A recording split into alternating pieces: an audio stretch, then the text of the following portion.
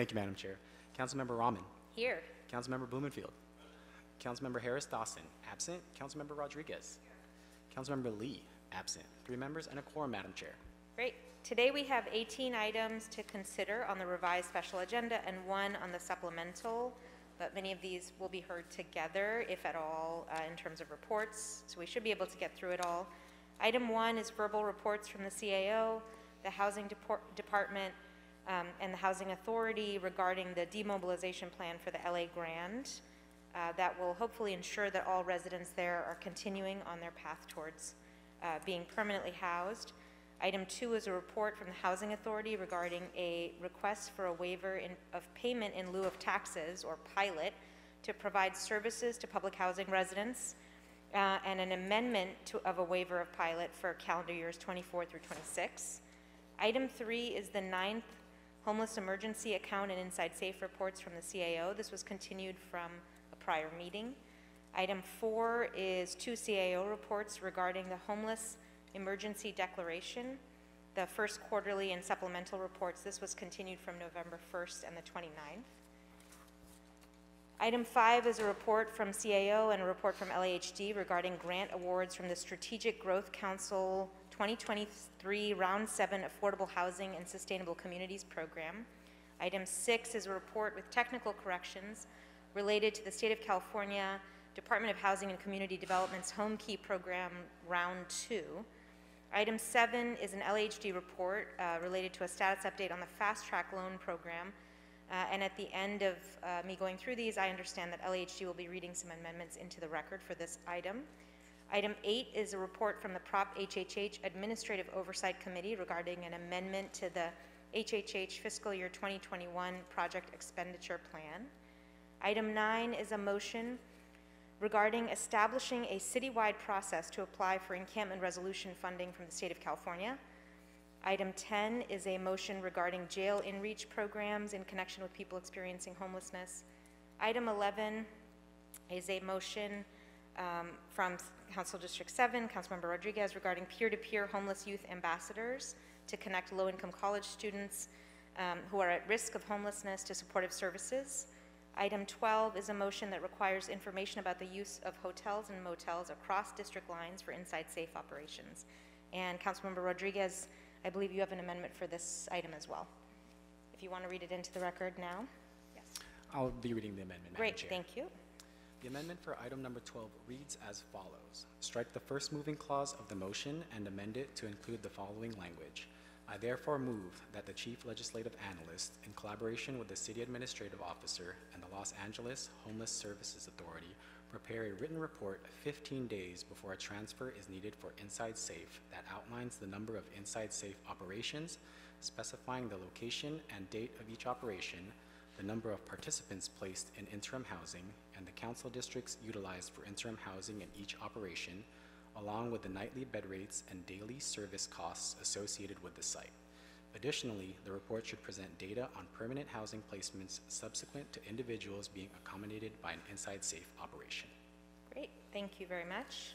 Uh, Moving on to the rest of the items, item 13 is a motion related to additional funding and contract amendments for an environmental cleanup at the Slauson Wall site at 5867 South Los Angeles Street. Item 14 is a motion related to an RFP for affordable housing at a city-owned property at 682 South Vermont Avenue in Koreatown, which is a parking lot. Item 15 is a verbal report from the LHD about the ULA Emergency Rental Assistance Program, as well as a description and walkthrough of the Housing Department's new publicly available housing data dashboards. Item 16 is the 10th status report from the CAO on the homeless emergency account and Inside Safe. Item 17 is a LAHSA report regarding the inclement weather shelter program. Uh, And item 18 is a CAO report regarding the homeless emergency declarations 23-24 second quarterly report. So can we now have the LAHD amendment read in for item seven? And just for the record, Madam Chair, item seven is a Los Angeles Housing Department report relative to the status update on the Fast Track Loan Program. Great. And we have Daniel here from LHD who's going to read that amendment. Thank you. Thank you so much. Uh, Again, Daniel Nguyen, Assistant General Manager at the Housing Development Bureau at LHD. Would like to uh, read the following uh, changes into record. In the summary, the fast track loan balance amount decreased from 8,617,747 to 8,617,738. Recommendation two, change from authorize the general manager of LHD or designee to reserve nineteen million eleven thousand three hundred eight in home funding, four million nine hundred and seven thousand one hundred nine in SB two funding, and nine hundred seventy-one thousand three hundred thirty-one in linkage fee as identified in table one. Two, authorize the general manager of LHD or designate to additionally reserve fifteen million nine hundred forty-nine thousand seven hundred eighty-seven in home funding, hundred and seventeen thousand seven hundred and ninety-three in linkage fee, and two hundred and four thousand four hundred and thirty in SB two funding as, and as identified in table one.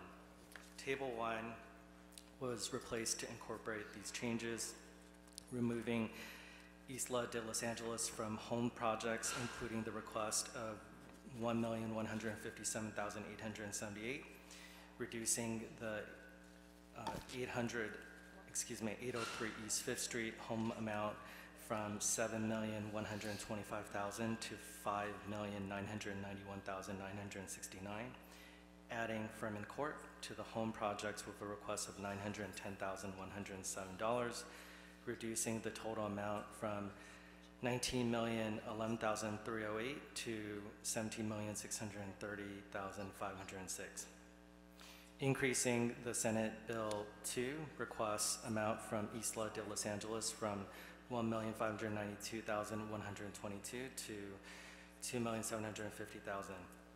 Removing in Court from the Senate Bill 2 projects, including the request of 910,107, adding 800 adding to 803 East Fifth Street to the Senate Bill 2 projects with a request, with a request of $1,133,031.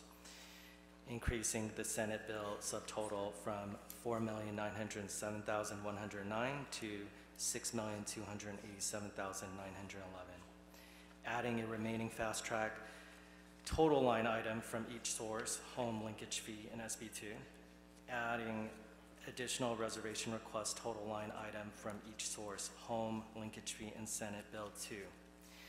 Adding a fast track balance line item of 8,617,738 and adding a total additional reservation request line item of $16,272,010. Um, Two remaining comments. Table 2 was replaced to make the following changes. The subject header of the second column from total fast track expended to date to total fast track awarded expended as of December 18, 2023. The total fast track expended award was changed from 19,782,253 uh, to 19,782,262. The fast track balance was changed from 8,617,747 to 8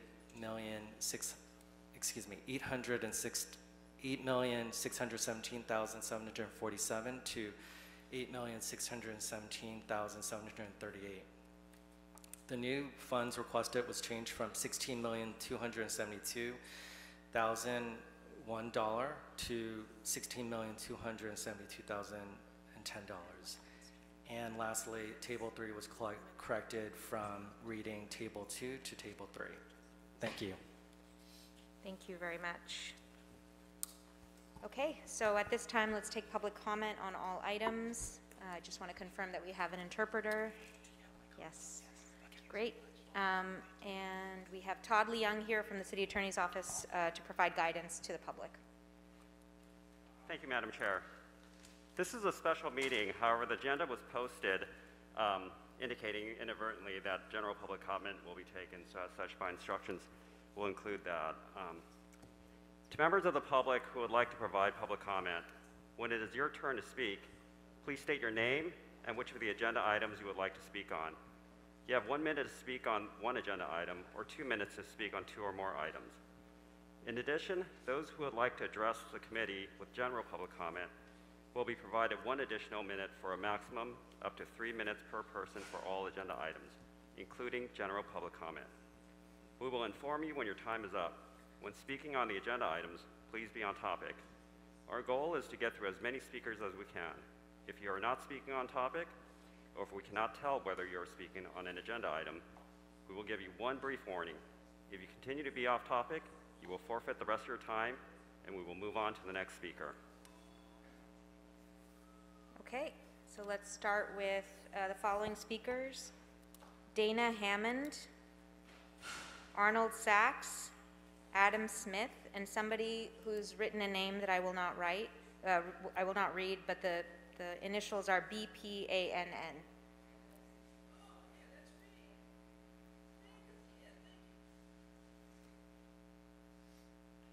You can come up in any, any order. You don't have to come up in that order. And speaker, your name and the agenda item you're speaking on. Yes, my name is Dana Hammond. I'm speaking to agenda, agenda item one. Okay, please, uh, you have one minute for, for that item. Right. So I'm the founder and CEO of Academy of Media Arts. My students were here last Friday, and this Inside Safe program, we have experienced a whirlwind of incidences that has had huge financial and safety implication, and we have ultimately closed our doors. You heard the plea from our students. I, I need this council to understand it took me 20 years to build the school, no celebrity. I still have a 25 year lease. I've been threatened. The straw that broke the camel's back is an incident from the Inside Safe. A resident from the Inside Safe program was on LSD drugs and entered our campus. This is one of eight times we've had an intruder, and I am fearful that black and brown kids would have, it's to die. And so I'm, I am a, not just the CEO, I'm the mastermind of this pro, of this school called Academy of Media Arts, which prepares students for the future of work. And I had to move my students, and there will be restitution from the city. The city is paying a fugitive who's my landlord. One over one million dollars a month. Why is the city paying a landlord, a fugitive? Thank you. Thank you, thank you, sir. Uh, The next speaker, please come to the, so BPANN, Adam Smith, Arnold Sachs, and I'll call one more, Noel Weiss and Jose Flores. Go ahead. Good morning. What, Um, what items are you speaking on? I put 16, 18 in general public comment, but I don't think I have three minutes in me today. Okay. Um, My name's Adam. I'm from the LA CAN Human and Civil Rights Committee. Uh, And, I mean, w- one big thing, I know that this is like a special meeting, but it was interesting that 16, 17, and 18 got added yesterday afternoon after the original um, agenda came out on Friday, and I just, in terms of like, you know, constituents actually seeing that stuff, uh, it's understandably hard to catch. And these are, you know, really important issues that um, are coming before this committee, so just wanted to lift that up. Um, yeah, looking at the inside safe numbers, I think it's just important to disrupt that constant narrative that calls what's happening housing. Um, and I heard the, the chair mention hoping that the people that are being, as the L, uh, LA Grand is demobilized, that people have continued pathways to permanent housing. And like, in all of these reports, in all of these vitriolic comments, and all of these pontifications from this horseshoe, what we don't hear anything about we hear little teases of, of permanent housing. We hear, you know, we see these small numbers of people that have been permanently housed in these numbers, but we know that a lot of those are HHH beds that have come online in the last year and have nothing to do with this executive directive. So um, I just want to lift up that there, where are the pathways to permanent housing? These people that are being brought in that supposedly are consenting to these hotel rooms when we see fences and planters coming up behind them. Um, this isn't permanent housing. I'd like to see, we'd like to see the pathways. Your numbers show an 80% retention rate for Inside Safe. I'd like to know from Mayor Bass, how do you met, what's the metric on housing retention in a non-permanent situation. What's, what's a retention look like for a hotel room? It's not permanent housing, so how can you call it retention? You got more people Thank- dying, you got more people exiting the program, including 24 dead, than are currently permanently housed. Thank you. Where's the housing? Thank you very much. Um, And as our next speaker comes up, I'd like to call the rest of the speakers BPANN, Noel Weiss, Jose Flores, Ethan Weaver, King James Lilly, Michelle A.W. Go ahead, sir. What items are you speaking on? Uh, Good afternoon, Arnold Sachs, 15, 16, 17, and 18, and I didn't sign up for public comment, but that's fine. Okay, so you have two minutes. Okay, thank you. So I point out this article from Saturday, January 13th, Justice to hear cases on homeless camps. So if the Supreme Court justices are hearing cases on homeless camps, why the hell is LA involved in homelessness? How can LA City Hall and the city of LA all of a sudden come homelessness? What justice is going to hear a case about homelessness? It's right here in the LA Times. Justice, Supreme Court Justice, the highest court in the nation. You had America Fast Forward. You had Affordable Care Plan that would have gotten people off the street, but nobody paid attention to it.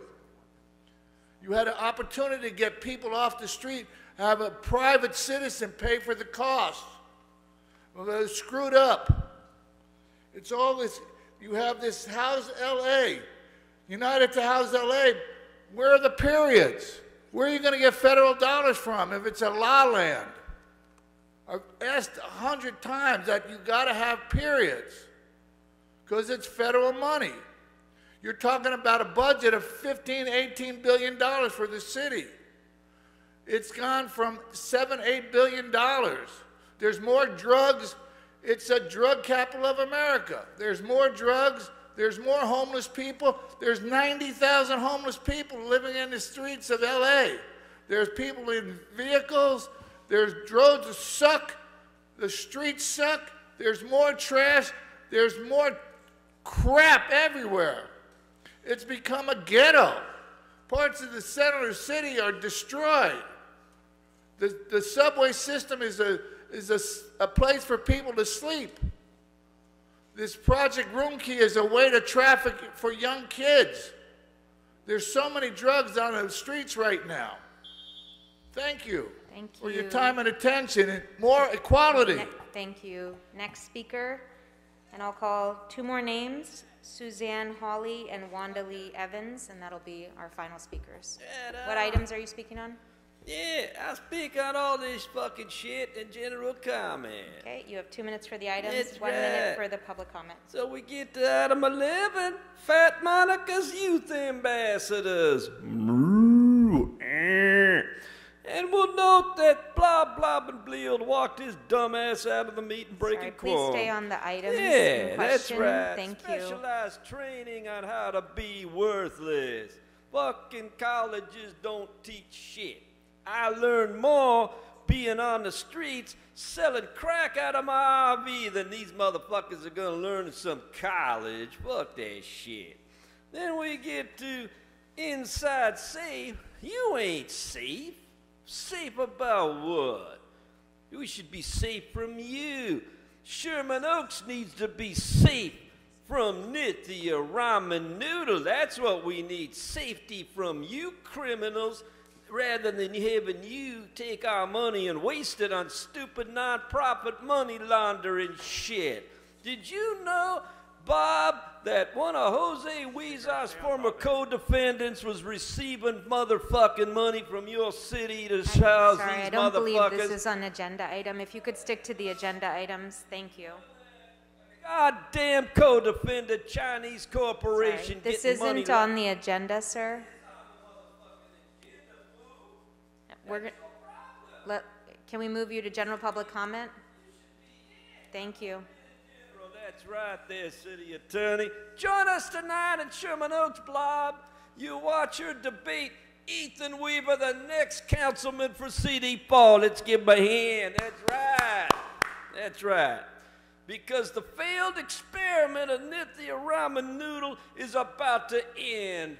As she has her greasy gray hair and her mask as she walks in tonight at the Sherman Oaks Neighborhood Councils in the Soha as she says, I'm not afraid of you. I'm gonna build an apartment building 50 fucking units behind your single family home. Even Bob Blobbenblield, as corrupt and stupid as he is, put that shit down, but you approved it. And Sherman Oaks Homeowner Association gonna be grilling you about that shit. So join us all tonight. You're invited too, Monica, but you're too fat to fit in the normal Thank car. you, thank you. so Next much. speaker, please. And to everyone who's here, we can't control these public speakers. I sincerely apologize. Your name and the items you wish to speak on? Hi, my name is Jose Flores, and I'm here to speak on items one, three, and general public comment. Okay, you have two minutes for the items, one minute for general public comment. Okay. Hello, council members and everyone present. My name is Jose Antonio Flores. I co-own and run Sky Moving, my family's small furniture moving business in the San Fernando Valley. In regards to addressing our city's homelessness crisis, I believe we must first convincingly understand that regardless of socioeconomic background or privilege, we all face a risk in losing our homes and living on the streets, whether that is for a lapse of two weeks or two years, or if this happens next week or next decade. We all face this risk given the unending challenges of life, especially in our high-cost, hustle and bustle city of LA. Thinking otherwise is incredibly arrogant and ignorant. All it would take to become homeless would be a set of insurmountable life circumstances, such as succumbing to the stresses of medical hardships and the resulting debt, returning from military service with a debilitating injury, or simply being an LGBTQ youth, ostracized and diminished by their own family. All of this is to say we must not consider homeless people as an other. It is your family, your friends, and possibly yourself, now or later, who may be forced to find restful nights in the cold sidewalks of LA. So with that in mind, I'd like to humbly suggest implementing the following ideas into current policy efforts, including collaborating with online, mark, online marketplaces like Airbnb or Couchsurfing.com, where private citizens and organizations could offer sleeping accommodations for a profit, whether that be a private RV, a couch, or a bunk bed in a shared cooperative, all rentable with private funds and supplemented by vouchers funded through a cap and trade system of cooperation among all 15 LA districts, where each district could contribute financially or through the provision of physical beds to meet a minimum standard. Lastly, to deter abuse, the cash value of vouchers should decrease over time per participant. For example, a participant might offer a local Airbnb for their first month, and on their sixth month, an upper bunk at the local rec center that requires volunteer work from them, or that requires volunteer work from them. This would encourage participants to pursue their own long-term housing options. If any of this resonates, please consider reading a more in-depth article I've posted on my blog, josesramblings.wordpress.com. Thank you very much.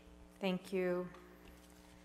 Next speaker, and just a reminder, the final speakers are Noel Weiss, Ethan Weaver, King James Lilly, Michelle A.W., Suzanne Hawley, and Wanda Lee Evans. Your name and the items you wish to speak on? the Housing Authority and uh, about the home key. And thank you getting my name right, because the president didn't get it right, but thank you for getting it right.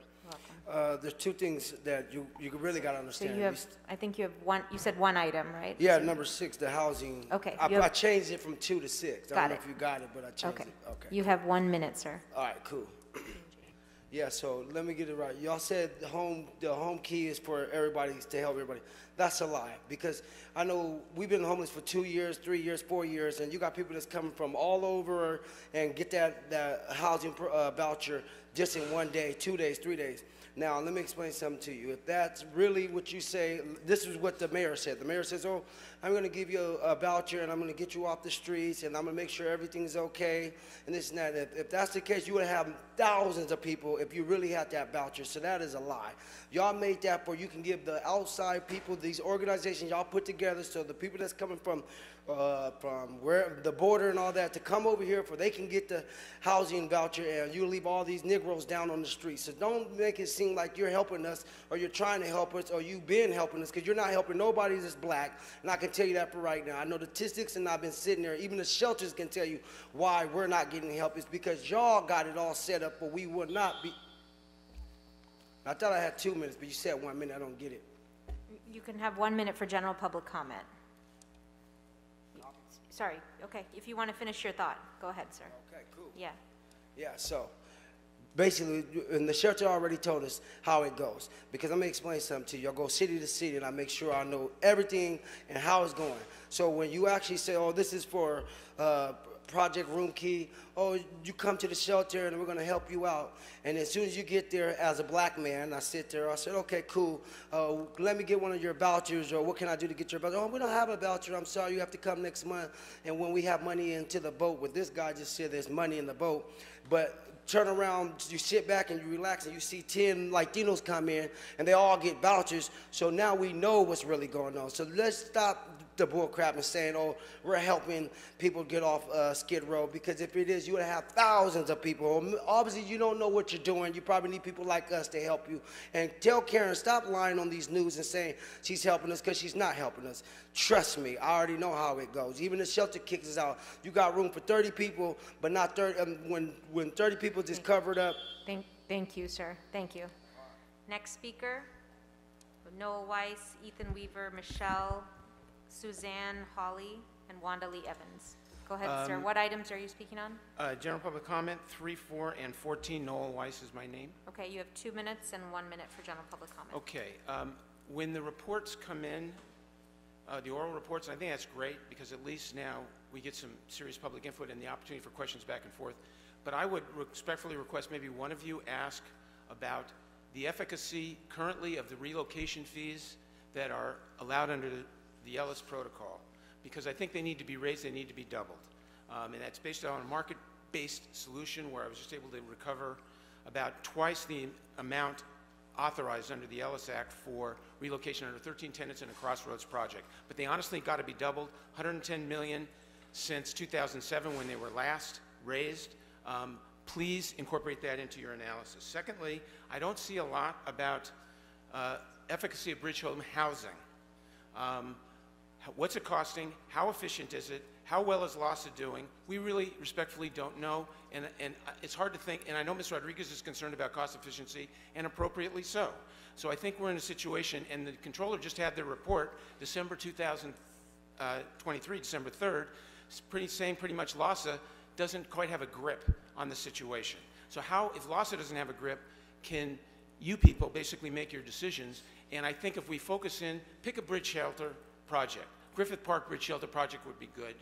Um, pick one, have the controller do a report, financial as well as managerial, so we know. Because this idea of the bridge shelter going into permanent housing, um, I don't know that that's working. And if it is working, what's the cost? And is there, uh, and are there other alternatives? That would seem to be the logical way to approach it. Um, in, in the last 20 seconds, I want to center on uh, Councilman Hutt's request for proposals. I haven't seen anything uh, really outside of the box here. Um, I'm speaking in terms of, for example, printing houses. Um, they can do that efficiently now, 20, 30, 40,000 dollars a house. Where is that discussion? Number two, community land trust. All right. To be continued. Thank you. Appreciate your attention. Thank you.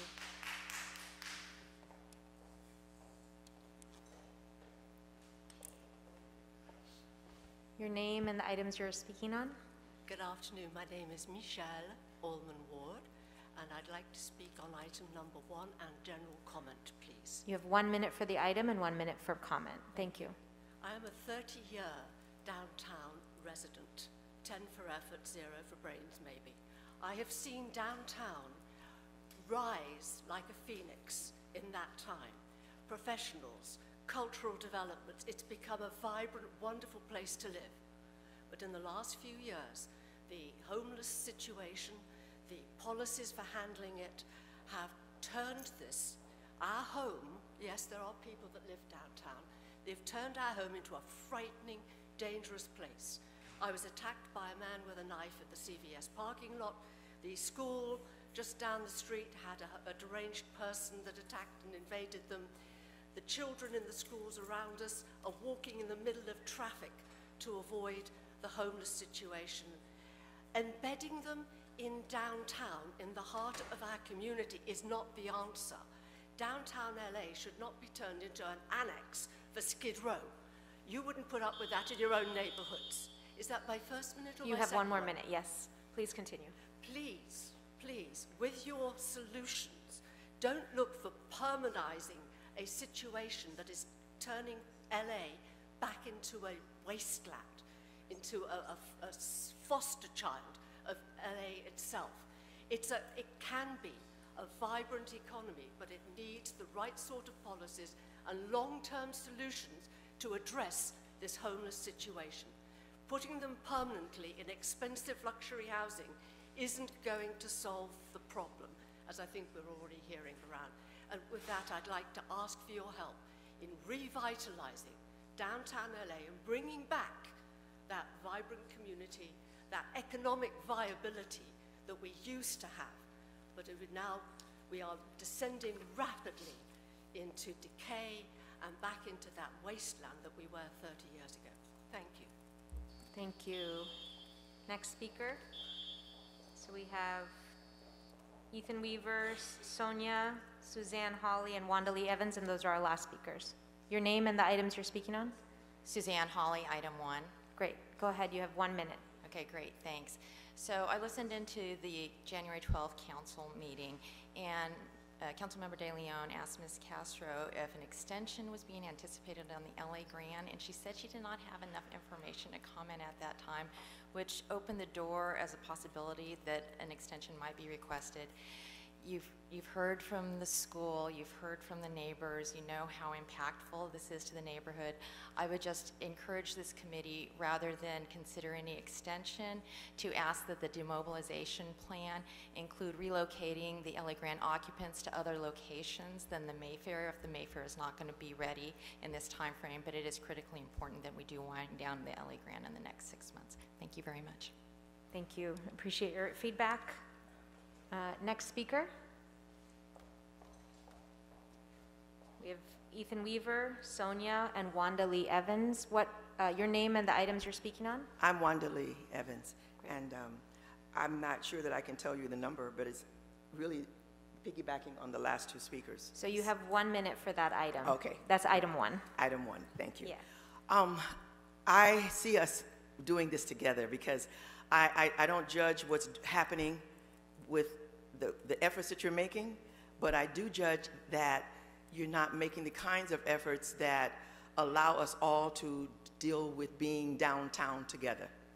And I live very close to um, encampments, most of us that are talking now do, and I want those folks to have what they need, yet at the same time, I don't want to see garbage that's piled up to here every day that I walk by, drive by, can't walk by, that the schools that are nearby, as she said, children can't walk Uh, on those sidewalks. I don't want to continue to see that, and I think that we need to find jobs for people to come along and clean that. If folks are going to be there temporarily, let's have dignity for folks. I have a brother that lives on Crocker in the middle of Skid Row. I grew up in Aliso Village, went to Utah Street. I understand I want this neighborhood to mm. be diverse, but I also want it to be something that I can say, I love being here. So, you know, do what you can, but change what you're doing, the way you're doing it. Thank you. Thank you, Speaker, for your comment. And I appreciate all the speakers who've come today to give their input. Um, I think it's, it's very well taken by this committee, and we will do our best to ensure that your community thrives. Uh, I think there are no other public speakers on the queue, uh, or physically in the queue either. So let's close public comment at this time.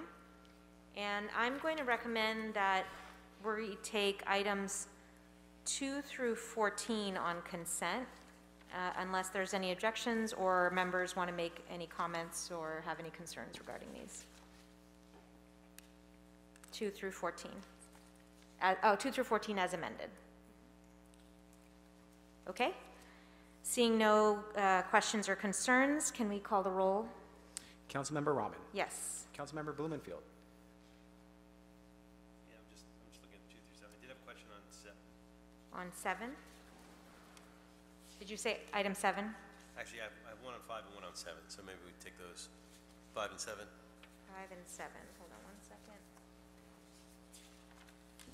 So to confirm, Madam Chair, we'll be voting on 2, 3, 4, 6, 8, 9, 10, Okay. 11, 12, 13, and 14 with 12 as amended. Okay, that's fine with me. I'm going to restart the roll, Madam Chair. Councilmember Raman. Yes. Councilmember Blumenfield. Aye. Councilmember Harris Dawson, absent. Councilmember Rodriguez. Aye. Councilmember Lee, absent. Three ayes, and these items are approved with 12 as amended. Okay, thank you very much. I'm going to recommend that we start with items that have been continued um, from previous, uh, previous um, meetings, just to make sure that we do hear them today. So we have older HEA and Inside Safe reports, which are part of that consent agenda that we just um, voted on, but we have newer reports, which are items uh, 16 and 18. And uh, I, I recommend that we hear both of them together and have both the CAO and the mayor's office come to the table to report. Committee members, are you on board? So you're, yeah. that's 16 fine. and So- 18. So we're hearing 16 and 18 together? 16 and 18 together, we'll hear them first since they're both updates of previous things that we've uh, kind of pushed to this agenda and haven't heard, and I just want to make sure that we have adequate time for this. Great, so welcome CAO, welcome re- representatives from the mayor's office. And for the record, Madam Chair, item number 16 is a city administrative officer report relative to the HEA General City Purpose Fund 10th status report, and number 18 is a city administrative officer report relative to the Homeless Emergency Declaration 2023-24 second quarterly report. Okay, great, so um, we can start off with the CAO, the CAO's report, and then turn it over to the mayor's office for their presentation.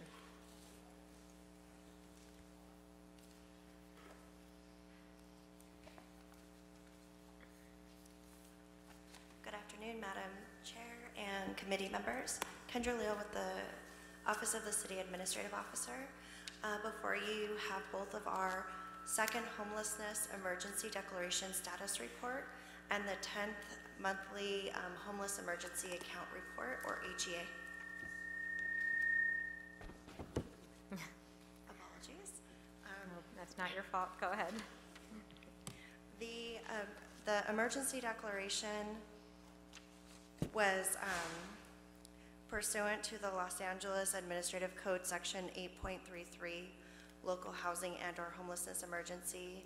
The mayor reissued the homelessness emergency declaration where the mayor will continue to coordinate a citywide planning and respond with respect to, or response, I'm sorry, with respect to unsheltered or unhoused individuals in coordination with the city departments on July 7th, 2023. The approved ordinance instructed the CAO, city planning, and the housing department to report on a quarterly basis on the status of the declaration for the council to review when considering the renewal of the homelessness emergency declaration. The emergency declaration notes that the emergency should continue to exist if any of the three following criteria are met. One, housing supply is projected to be at least 40% below the annual housing production goals as established in the city's regional housing needs assessment. Two, there exists more than twice the number of unhoused people in the city of Los Angeles than the number of interim beds. Or three, a city increase, a citywide increase in unhoused individuals by more than 20% in a single year, as reported in the annual point-in-time count. Currently, two of these criteria are met. Um, Relative to, the first criteria on the housing supply being at least 40% below, the Department of City Planning reports the city is 60.9% below the annual production goal for the current eight-year regional housing need allocation cycle. And relative to the second criteria, where a number of unhoused people are more than twice the number of interim beds, the LAHSA reports an inventory count of over 17,000 and the unhoused population is 46,260, which is over double the number of available beds. In the mayor's July um, 2023 declaration, nine key performance indicators were established to review the progress in addressing these emerg- this emergency. Our office's report compiles data and information provided by the mayor's office, city planning, LHD, LAHSA, LA San, and HACLA. Um, in regards to um, the Inside Safe initiative, which is primarily supported by the HEA or the Homeless Emergency, Homelessness Emergency Account. This um, helps address parts of the Homelessness Emergency Declaration. So to give a status update regarding the financials for this, um, for the, for the HEA um, as a part of, which was originally established on January 18th, um, 2023, to address the city's homelessness crisis. As a part of the fiscal year 23-24 budget, an additional 250 million was approved for the Inside Safe program. Those dollars were divided in a form of a checking account and a savings account. 65.7 million were appropriated into the HEA, which our office is authorized to spend at the mayor's discretion, as long as we provide monthly reports, which we have. $184.3 million was allocated into the Inside Safe Reserve account, which is technically the savings account. As of December 15th, 2023, just over $73 million has been spent since the beginning of the fiscal year from the HEA. The majority of these expenses, approximately 58.5 million, were um, for the acquisition of the Mayfair Hotel. Included in the Mayfair acquisition costs were 15.6 million in non-reimbursable costs and 42.8 million in cash flow loans. To date, of the 42.8 million, 15.2 million has been transferred back into the account. Last November, the unencumbered balance in the HEA fell below the $25 million threshold, uh, as was outlined in the adopted budget. Our office then released a transfer memo to the Controller's Office requesting the first $25 million transfer from the Inside Safe Reserve Fund account. The memo was released on November 28th, and the transfer was completed on November 30th. As of today, the uncommitted balance of the HEA is 30.4 million. We anticipate that we will need to request an additional 25 million by the end of February, which will depend on the status of additional reimbursements for the cash flow, I'm sorry, for the cash flow loans. As of the date of the 10th HEA report, there were 30, there are 33 executed booking agreements with active hotels and eight executed occupancy agreements for a total of 43 agreements with uh, hotels, um, including the LA Grand, which um, is under a different lease agreement um, and has also been extended an additional six months. These agreements represent a total of 1,460 interim housing room stock. To date, over 1,100 nightly hotel invoices have been received by our office, um, which does not include damage claims. To assist with RV engagements, a total of 250,000 has been allocated to LAPD to support the initial phase of the new vehicle recycling program, which will be used to dismantle and recycle RVs that have been impounded or unclaimed uh, um, in grave repair or are, excuse me, are an environmental hazard. The recommendation to this committee is to note and file um, the HEA report. This concludes my presentation, and I turn it over to the mayor's office for theirs. Thank you. Thank you very much. And we have Deputy Mayor Jenna Hornstock here from the Mayor's Office for your presentation. Is On. Okay, is on. there we go. Hi. Good afternoon. Um, I'm Jenna Hornstock. I'm the Deputy Mayor of Housing. Uh, Chief Castro Ramirez is in Washington DC at the U.S. Conference of Mayors, so I'm very proud to be here representing our Office of Housing and Homelessness. Um, so this presentation is really to go along with the two um, HEA and HED reports before you. Um, we're going to go a little bit deeper um, into the HEA budget and how it's interacted with citywide efforts. And we also want to speak more broadly um, to the homelessness emergency declaration and the efforts under the action plan that we submitted to this council in August of 2023. Uh, so I'm going to start with no noting that to solve this crisis, we need to work together to create opportunities for all Angelenos to find a home. Mayor Bass envisions a person and community-centered approach that moves with urgency to bring people inside, enhances the integration and delivery of comprehensive services, strengthens our interim housing infrastructure and supply, increases our throughput from interim to permanent housing, accelerates the development of new affordable housing development, and drives solutions that proactively address and rectify our entrenched inequities within our systems. We have found a collection of siloed systems and processes that have not brought people inside immediately and that lacked adequate and transparent data collection. Some of the flaws that challenges that we've seen that I think this council has also recognized are fragmented, uncoordinated, and inequitable approaches, right? We have different approaches across council districts, across SPAs at the county level, with individual service providers and county departments, and we see inconsistent levels of engagement, coordination, and follow-through. Now, there are people doing great work, and we know that, and we celebrate that great work, but it still doesn't always tie into the overall system in a way that allows for successful outcomes. Um, these next two challenges really tie together, which again, we've heard a lot from this council on, which is the lack of real-time data and synchronization across partners, which creates challenges for serving needs and for tracking progress. And along with that, gaps in the homeless management systems that make it difficult to achieve and measure individual progress and outcomes. Um, we know that LAHSA, service providers, and county teams use different data collection platforms and methods that don't easily integrate, and we need to meet system-wide reporting standards to be able to track outcomes.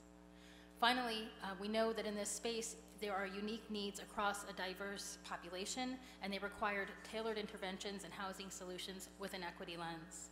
Homelessness is not one size fits all, and people experiencing homelessness cross every demographic boundary. A solution that's perfect for one person may not help another one at all, which means that our system has to be able to adapt and connect people to the intervention that is right for them, in the right place and at the right time.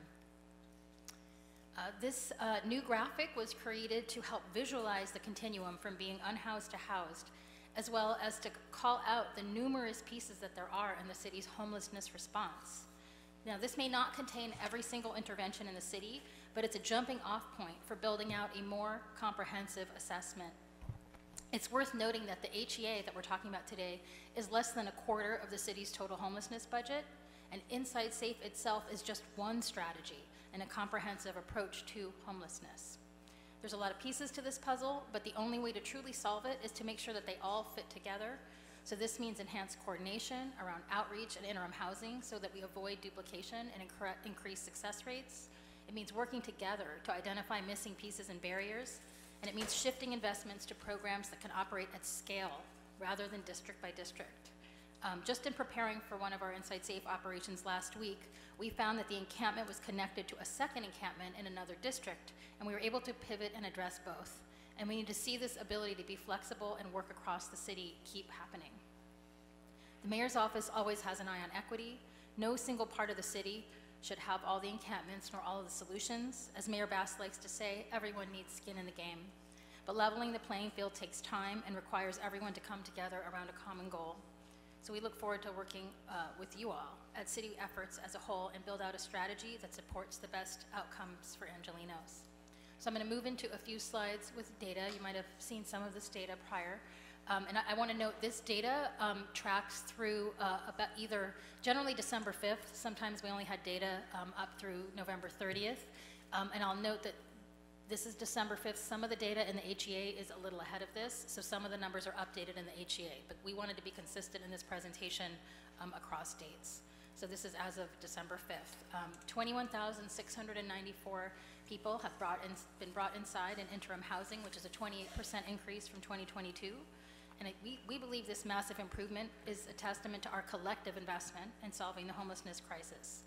And I think what's really important to note is that this number is deduplicated um, meaning that someone may have entered an interim location and exited and then come back in. They are only counted once. And I think this was a really good improvement on data, that, and, and we're continuing to work with LAHSA on those improvements. Um, in terms of Inside Safe, this is an overview of efforts again through December 15th because we know we've, we've had a few more since then, but 36 operations, um, which includes additional repopulation um, efforts, um, three of them. Um, and then over 2,000 people have come inside and we have a retention rate of over 80%, which is higher than the 64% for the city's overall um, interim housing retention rate. And I, was our field intervention team here? Think they were out in the field. I wanted to just thank them for their hard work um, that they do um, with our communities that they serve. And just note that this team really brings incredible experience. They have community relations, health and behavioral health, substance abuse, public safety, and many of them have their own lived experience. So the, the work that they do is really critical and, and is reflected in this retention rate. This next slide is an update on voucher usage. Um, when she took office, the mayor made a concerted push to have HACLA take action on getting vouchers at the door and ensuring that voucher holders find units and get housed. This resulted in HACLA bringing on both additional um, regular staff and contract staff in late February of last year, and they focused both on getting vouchers out, but also more housing navigation, which I think we've all learned is a really critical piece of the puzzle. Um, So this increased capacity led to over 7,700 people being permanently housed with vouchers since the mayor took office. And I just want to call out for emergency housing vouchers, which I think a lot of you know, at that time, we were pretty behind in meeting deadlines, um, and we had strict deadlines to get those out. Um, 2,299 have been used since the mayor came into office, and that was on top of just under 1,000 that have been used. So we're at 91% utilization of these vouchers, the emergency housing, and because of this, HUD is committing to giving more vouchers to HACLA. They're actually taking vouchers from cities that haven't performed and transferring them to cities that have. So this performance is having real impact and outcomes with the federal government. And I wanted to just underscore that this committee has actually been having HACLA report to it regularly um, with a parallel focus on this issue. So I think there's been significant pressure on HACLA from across the entire city family. Appreciate that.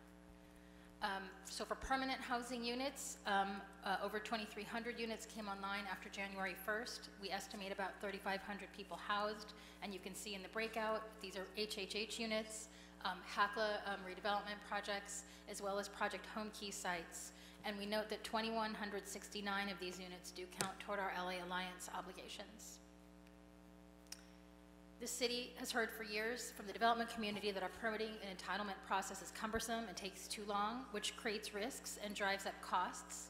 ED1 exempts these 100% affordable projects from our discretionary review processes if the project is consistent with the applicable zoning and commits to bringing down the time it takes to approve projects. And again, this is older data. You've got some newer data in the HEA report. Um, uh, but we see over 9,000 units um, in the pipeline, 119 projects. 59 projects have been approved, over 4,600 units, in an average of 44 days. Um, and this is for their planning entitlements. And, and we estimate the savings at six months um, for that process. This city council matched the urgency to build more affordable housing, and last June you requested that the city planning department develop an ordinance to make ED1 permanent. Our office is working really closely right now with both planning and LAHD to bring forward a permanent ordinance that addresses unintended consequences, right? With any policy where you're really making change, you're going to see unintended consequences. So we are specifically looking at ways to add guardrails to the allowed waivers under ED1, as well as strengthening tenant protections for those impacted by new construction. We love a good copycat program, and in this case, DWP matched us, our, our ED1, and, and brought forward Project Powerhouse, which has cut the time and cost to deliver power to affordable housing projects. Um, you'll see the statistics here, about 242 projects in the expedited design and construction phases. They're also um, cost sharing for utility um, extensions in the public right-of-way. They've saved almost $23 million um, for projects through this program, and they have cut the development review and engineering construction timeline by 85%. This council has made very clear your commitment um, to tenant protections and strengthening these host pr- protections, and in the mayor's budget and with your support, we committed over $80 million of ULA funding this year for tenant protections. I think we, we know importantly um, that over 30 million was put into the short-term emergency uh, rental assistance program, which was approved um, by you in August, and in September, LAHD launched. Um, I would add that, that council also recommended a special application period for, land, for landlords with less than 12 units to help those small mom and pops um, be able to collect rental arrears. Other programs funded are eviction defense, which is expanding our Stay Housed LA programs, um, additional outreach um, and education for tenants, um, as well as being to implement more robustly the tenant anti-harassment program. Uh, the Mayor's Fund is a separate phil- philanthropy that has launched an aggressive proactive outreach campaign to ensure that tenants know their rights and to connect tenants that have received notices of evictions um, with resources and support. And again, I know members of this council, um, Councilmember Raman in particular, has worked really closely um, to take advantage of these eviction notices coming to the housing department and make sure that the mayor's fund can use that to target those tenants most at risk. And you can see here in the statistics the success me, um, over 70, 175,000 tenants outreached, and of those, 18,000 that were looking for assistance got direct assistance in seeking um, federal, state, and local benefits. Um, anyone with an eviction notice is given help with response, and the Mayor's Fund launched an, uh, a new outreach effort in November um, to over 5,000 tenants that have received notices of eviction. The, we are also really thrilled to note that all of this work of coming together um, has allowed the city to identify and secure resources at every level of government um, and combining with our own and leveraging our own resources to house Angeleno. So over 680 million in new funding. Um, I'll just call out a few, 60 million in federal support from HUD that goes directly to LAHSA. Uh, that is to work over the next three years. It can be used for outreach, housing navigation, time-limited subsidies, permanent housing support. At the state level, over 590 million in new funding for encampment resolution and efforts to create both new interim and permanent housing. 60 million of that is our joint award um, with the county uh, for the encampment resolution grant that will bring 2,000 Skid Row, uh, Skid Row residents inside and connect them with enhanced services. Finally, oh, I'm on the wrong slide, sorry. Um, The mayor's declaration of emergency and her call to lock arms uh, to address the crisis have opened doors to a whole of government approach. This has not only brought additional funding and resources to the city, but it's opened new pathways for legislative cooperation and coordination. And I, I'm not going to read through all these, but this is just a sampling um, of some of the partnerships we've unlocked with this commitment. So now I'm going to dive a little deeper um, and go a little beyond what you see in the HEA report into some budget um, items. So first I want to note there has been confusion around the 67 million in paid expenditures from the previous HEA report. That number has been tied directly to Inside Safe, both in terms of interim housing and our ability to match participants to permanent housing, and that is not accurate. So these next two slides are going to try to make really clear um, how the money has been spent. They cover HEA paid and obligated expenses for the first half of the fiscal year. And you're going to note that, or you'll see that the vast majority of both paid and obligated funding is for long-term investments in interim housing, not for in- inside safe operational costs. So as you can see on this slide, the total obligated expenses for inside safe hotel rooms, both the nightly booking and longer-term occupancy agreements is 13.4 million. We also have the uh, LA Grand lease extension, that six-month extension of 12.5 million. And then some just additional facility expenses related to the hotel is 48,000. Um, Next down, we talk about our uh, investments in service provision. Inside Safe participants not only gained shelter from our efforts, but they got meals, case management, housing navigation, and improved access to health and behavioral services. We've currently received invoices for 9.8 million in service provision, um, but we expect more invoices to be coming in soon. And then lastly, other Inside Safe, and I think our CAO team mentioned this, 250,000 went toward dismantling RVs, which we learned from many of you in our task force was critical uh, to making space to tow more RVs, um, and as well as 29,000 for LAPD overtime. So this is all related directly to Inside Safe spending. Uh, This next slide is showing our long-term investments in interim housing, and what you'll see is the majority of our expenditures in 2023 were for long-term investments in interim housing infrastructure. The acquisition of the Mayfair Hotel, which will bring online 294 long-term interim housing units with on-site services, had 58.5 million, and again, our our CAO team, I think, laid this out really well, but just to repeat with what's on the slide, 10.6 million for the real estate and rehab, 5.1 million for the first year of operations, and then 42.9 million, which were loans, um, that was covering the funding that we couldn't access in time to close the transaction. That's actually going to be um, paid back into the HEA account. On top of the Mayfair, um, we were successful in leveraging Home Key funds, Project Home Key 3. So we committed 31.6 million in funds to support applications for two new interim housing sites located in areas of high need. These were awarded, and they'll offer another 186 units. So in total, we've gotten 480 new permanent interim housing beds that will count toward our Alliance milestones. So if you look at the previous slide, we had 36 million that was directly for Inside Safe, and this 58.5 million, which is really um, related to the Mayfair, this is about 94 million of total paid and pending expenses in the latest HEA reports. I hope this is a more helpful breakdown. Last slide here. Uh, wanted to talk about our priorities um, moving forward that we look forward to working with all of you on um, and to continue to build out our citywide strategies to address homelessness and housing for all Angelenos. So our priorities in this next coming year are to increase throughput from interim to permanent housing. I know this is a priority that you all share as well. Um, looking at improvements in housing navigation, more vouchers, time-limited subsidies, and creative solutions. We need to build out further our citywide interim housing infrastructure, and we want to do this thoughtfully and in partnership but we really know that we need long-term resources, and we will center this on meeting our obligations under the Alliance settlement. We want to ensure and enhance service delivery. We are collaborating with the county to ensure service connections are made, sustained, and gaps are filled. We want to expand the housing ecosystem. We have to strengthen our citywide housing strategies, um, including working with L- LAHD and HACLA, and importantly, have a housing investment strategy that I know this uh, committee is eager to bring forward. Uh, we will continue to grow affordable housing production to meet our RHNA goals. We'll build out and strengthen tenant protections to keep people housed. And we know this also means supporting um, our mom and pop landlords to keep housing safe and affordable. Finally, on data and accountability, we'll continue to improve outcome reporting for housing and service delivery, and we'll ensure delivery of bed tracking capabilities citywide. I appreciate you letting me present to you, and we're happy to answer any questions.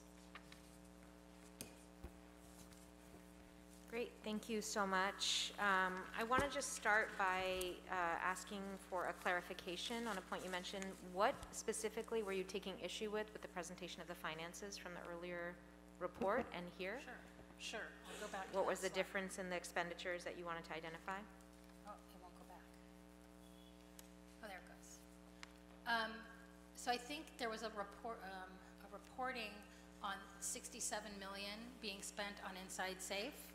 And I think what we're, we're trying to make clear here is Inside Safe is a part of the HEA, but not the entire program. So this is showing what was spent directly on Inside Safe. So the interim housing, um, booking agreements, occupancy agreements, and service provision, um, along with the 250,000 for RV dismantling, is all part of encampment resolution.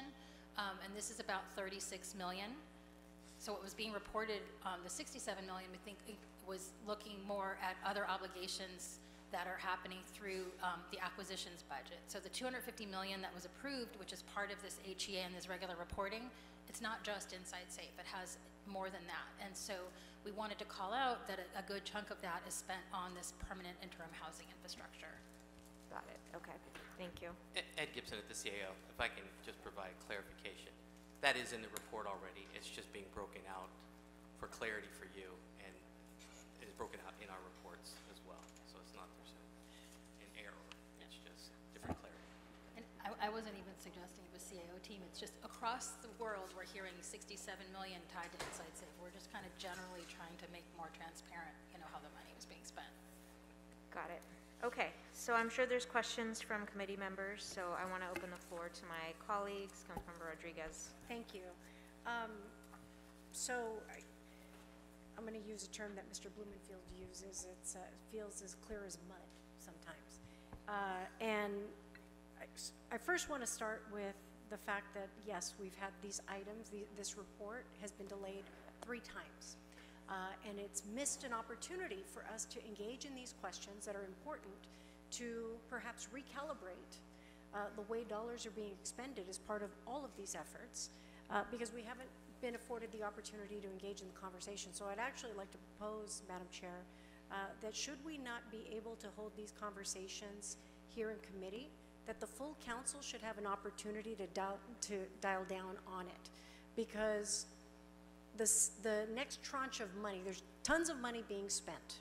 And there's tons of money being spent uh, that are not in align, in alignment to fulfill our obligations under the Alliance case. That's been made very clear. Uh, You know, we can talk about the acquisition of Mayfair, but that's, you know, and the expense associated with that. Again, I, I just, it, feels a lot of three-card Monty to me when we have conversations around, well, this pot of money is this and this is this, because when you even cited uh, the 186 unit, or the uh, however many units that have been contributing to fulfillment of the alliance, 186 of those units came as a result of Project Homekey and some of the acquisitions. So that's what I'm saying. It's, it's, it should be very linear in terms of how we see uh, how the dollars, what, what source of revenue is helping to fulfill the various obligations. So I just want to stick purely on, uh, on, on uh, some of this right now. Councilmember, can I clarify though on the Sure. home key? We put in 32 million from the HEA funds, from the 250 million to leverage the Homekey funds, and we worked closely with everyone to make sure that happened. So I mean, I just want to make clear. Okay. we I, like I said, it's, for me, it's about as clear as mud. So I'm trying to make sure that, you know, again, perhaps how we can uh, do a better job of reporting these things out, Much of that also comes by not uh, missing three previous opportunities to have these reports and these engagements so that we could perhaps have better clarity as we're in the process of doing it. Because here we are getting ready, uh, fast-tracked a conversation to replenish uh, all the resources that have been expended. Uh, we just learned just on Friday how much it's costing us, uh, and it's still, you know, for all the money that we're expending uh, with respect to Inside Safe, it it's not advancing the obligations that we have to meet with to meet the uh, compliance uh, goals and targets associated with the alliance uh, settlement.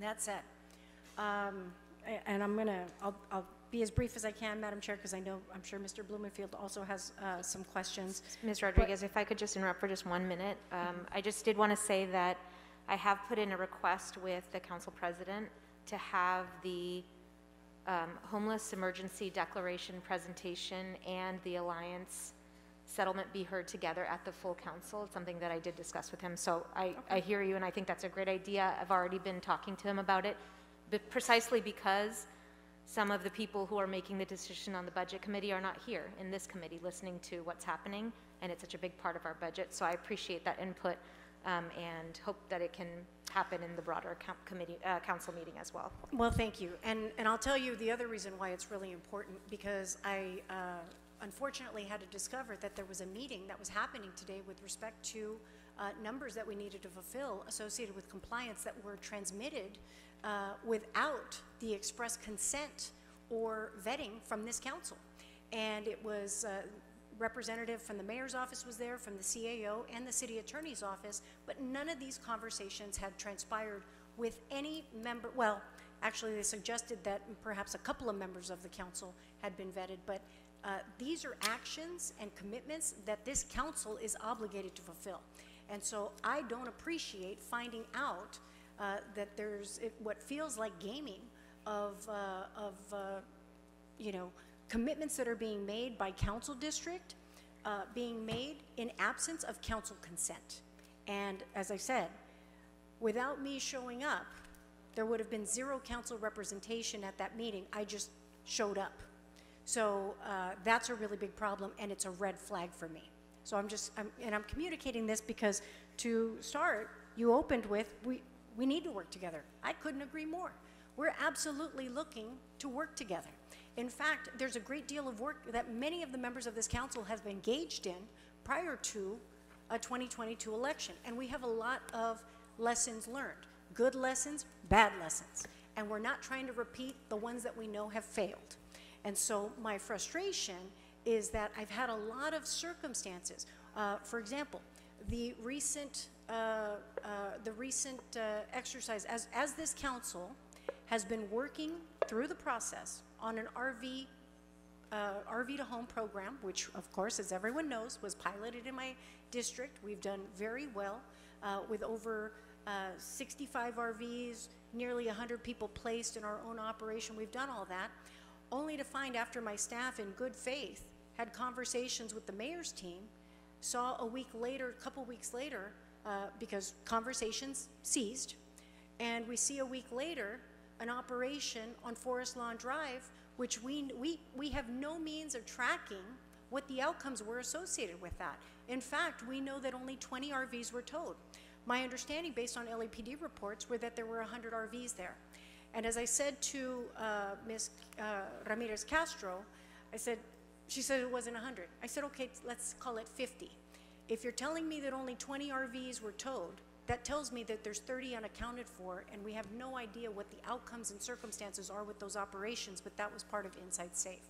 And so I raise all of this because, to your point, there are multiple buckets and efforts that are happening, whether it's LAHSA, whether it's uh, council directed, but we're standing up new efforts under the guise of emergency, which, yes, everyone agrees, it is an emergency. But we have to be efficient, we have to meet our obligations per the Alliance case, so that we don't fall into a circumstance where we're then having to pay penalties and reducing more of our resources to have to pay out because we're failing to meet the obligations that we had contractually obligated ourselves to long before anyone was here. We don't need to relitigate that. We need to do the work. And so I want to make sure that we are, in fact, all consistently working together on this because that has not yet been the experience. And so the one thing I will, I, I want to just dig in on a little bit uh, is on the, um, you know,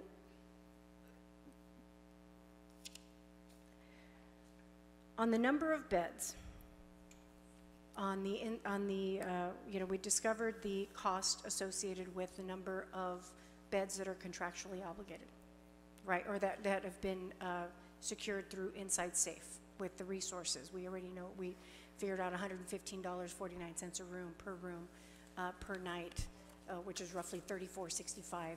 Didn't include the cost of services. Um, do we know what the cost of services are for those, for those rooms that are being serviced under Inside Safe?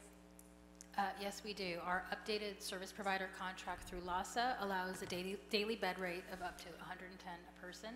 This includes updated participant agreement and intake instructions, greatly expanded monitoring and oversight regulations, funding for case managers and newly defined case management practices, defined parameters around the operator's responsibility for linking clients to county benefits and development of health and behavioral care coordination, improved protocol regarding the reporting of incidents, exits, and deaths, coverage for storage expenses as needed for placements and exits, documentation of meal delivery and increased focus on hot meals. So we've um, Is had that, a- is that a fixed cost from LASA? At I believe it's 100 a fixed at- cost. So the service providers, uh, everyone's getting a fixed number on that? I'm gonna, I want to just look back at our team and make sure I'm saying this correctly. What? It's an up to amount.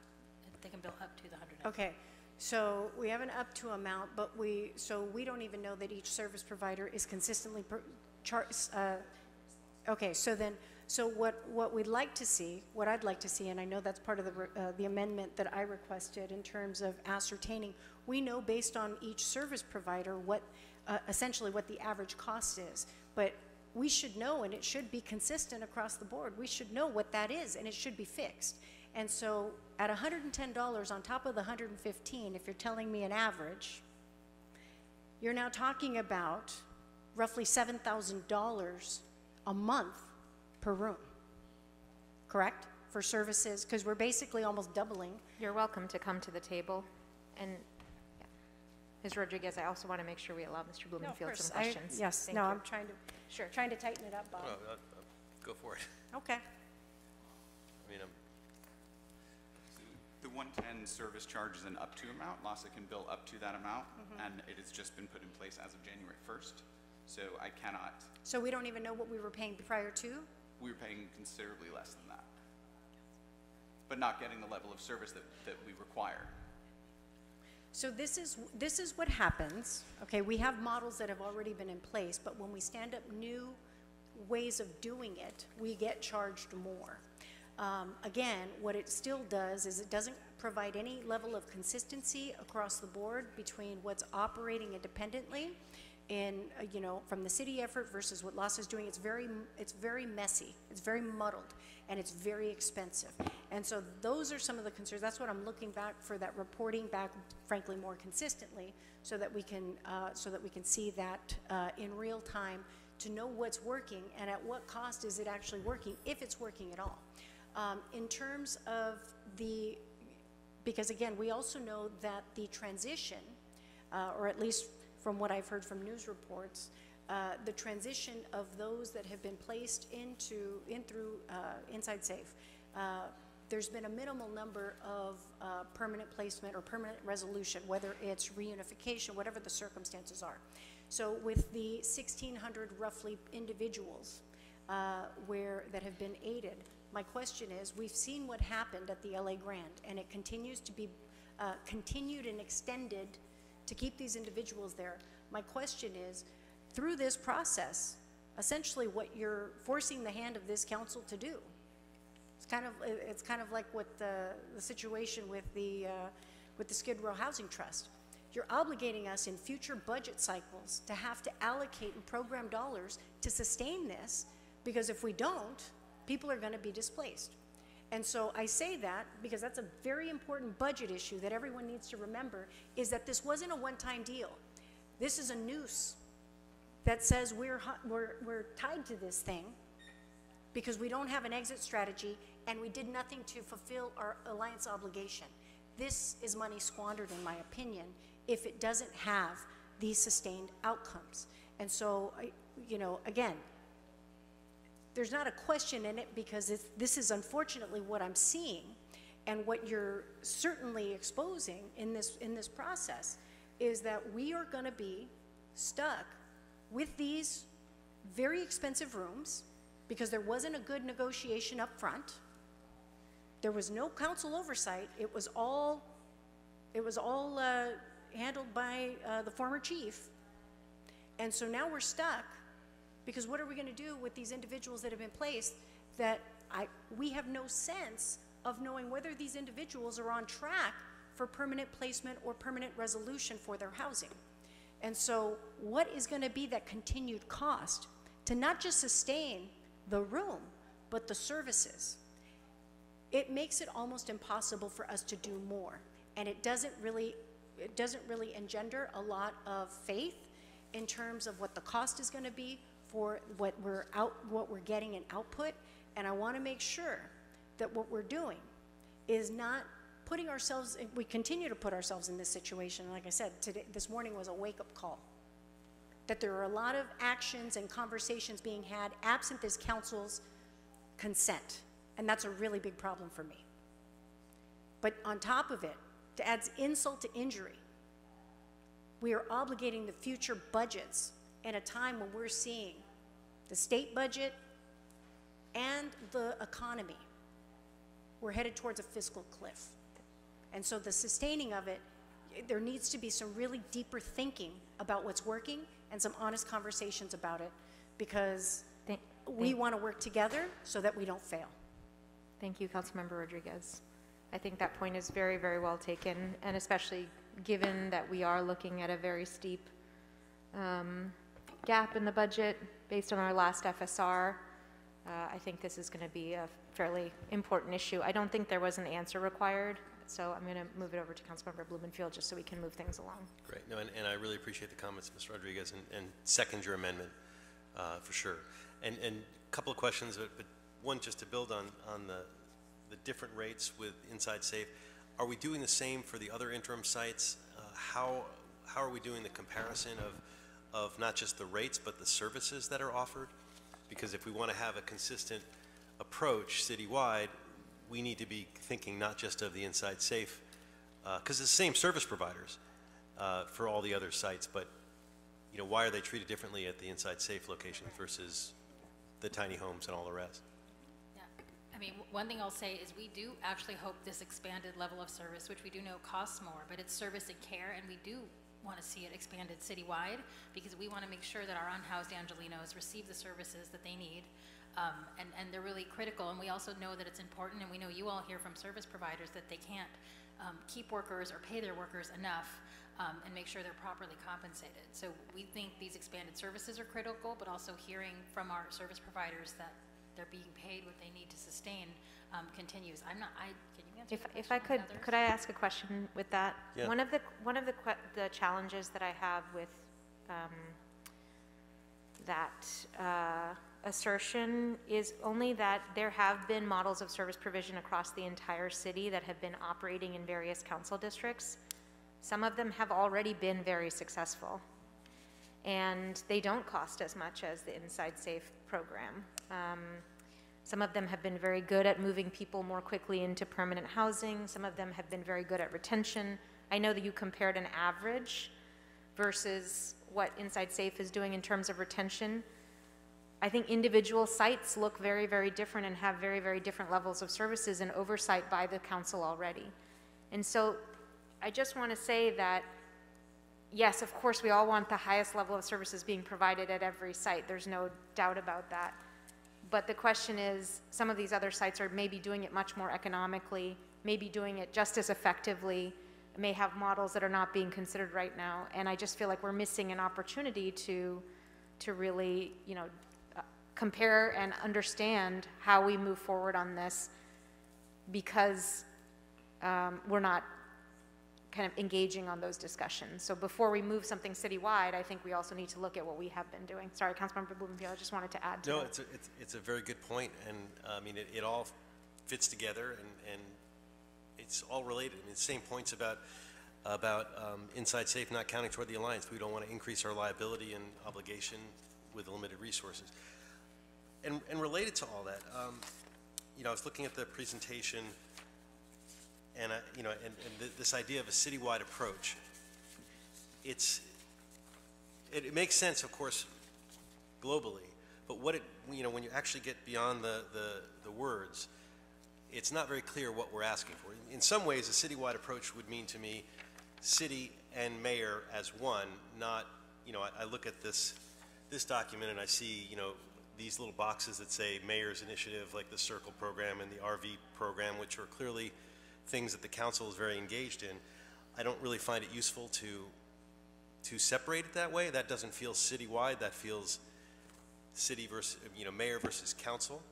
Can Um, I just clarify, I think we were just trying to make clear what's being paid for by the HEA. So I, I get, good note on the graphic, we can Yeah. fix, always can fix graphics. We were just trying to get clearer for you all how what's in the HEA compares to. And I don't think street medicine or circle are being paid for by the HEA, so, like, we funded street medicine, Yeah.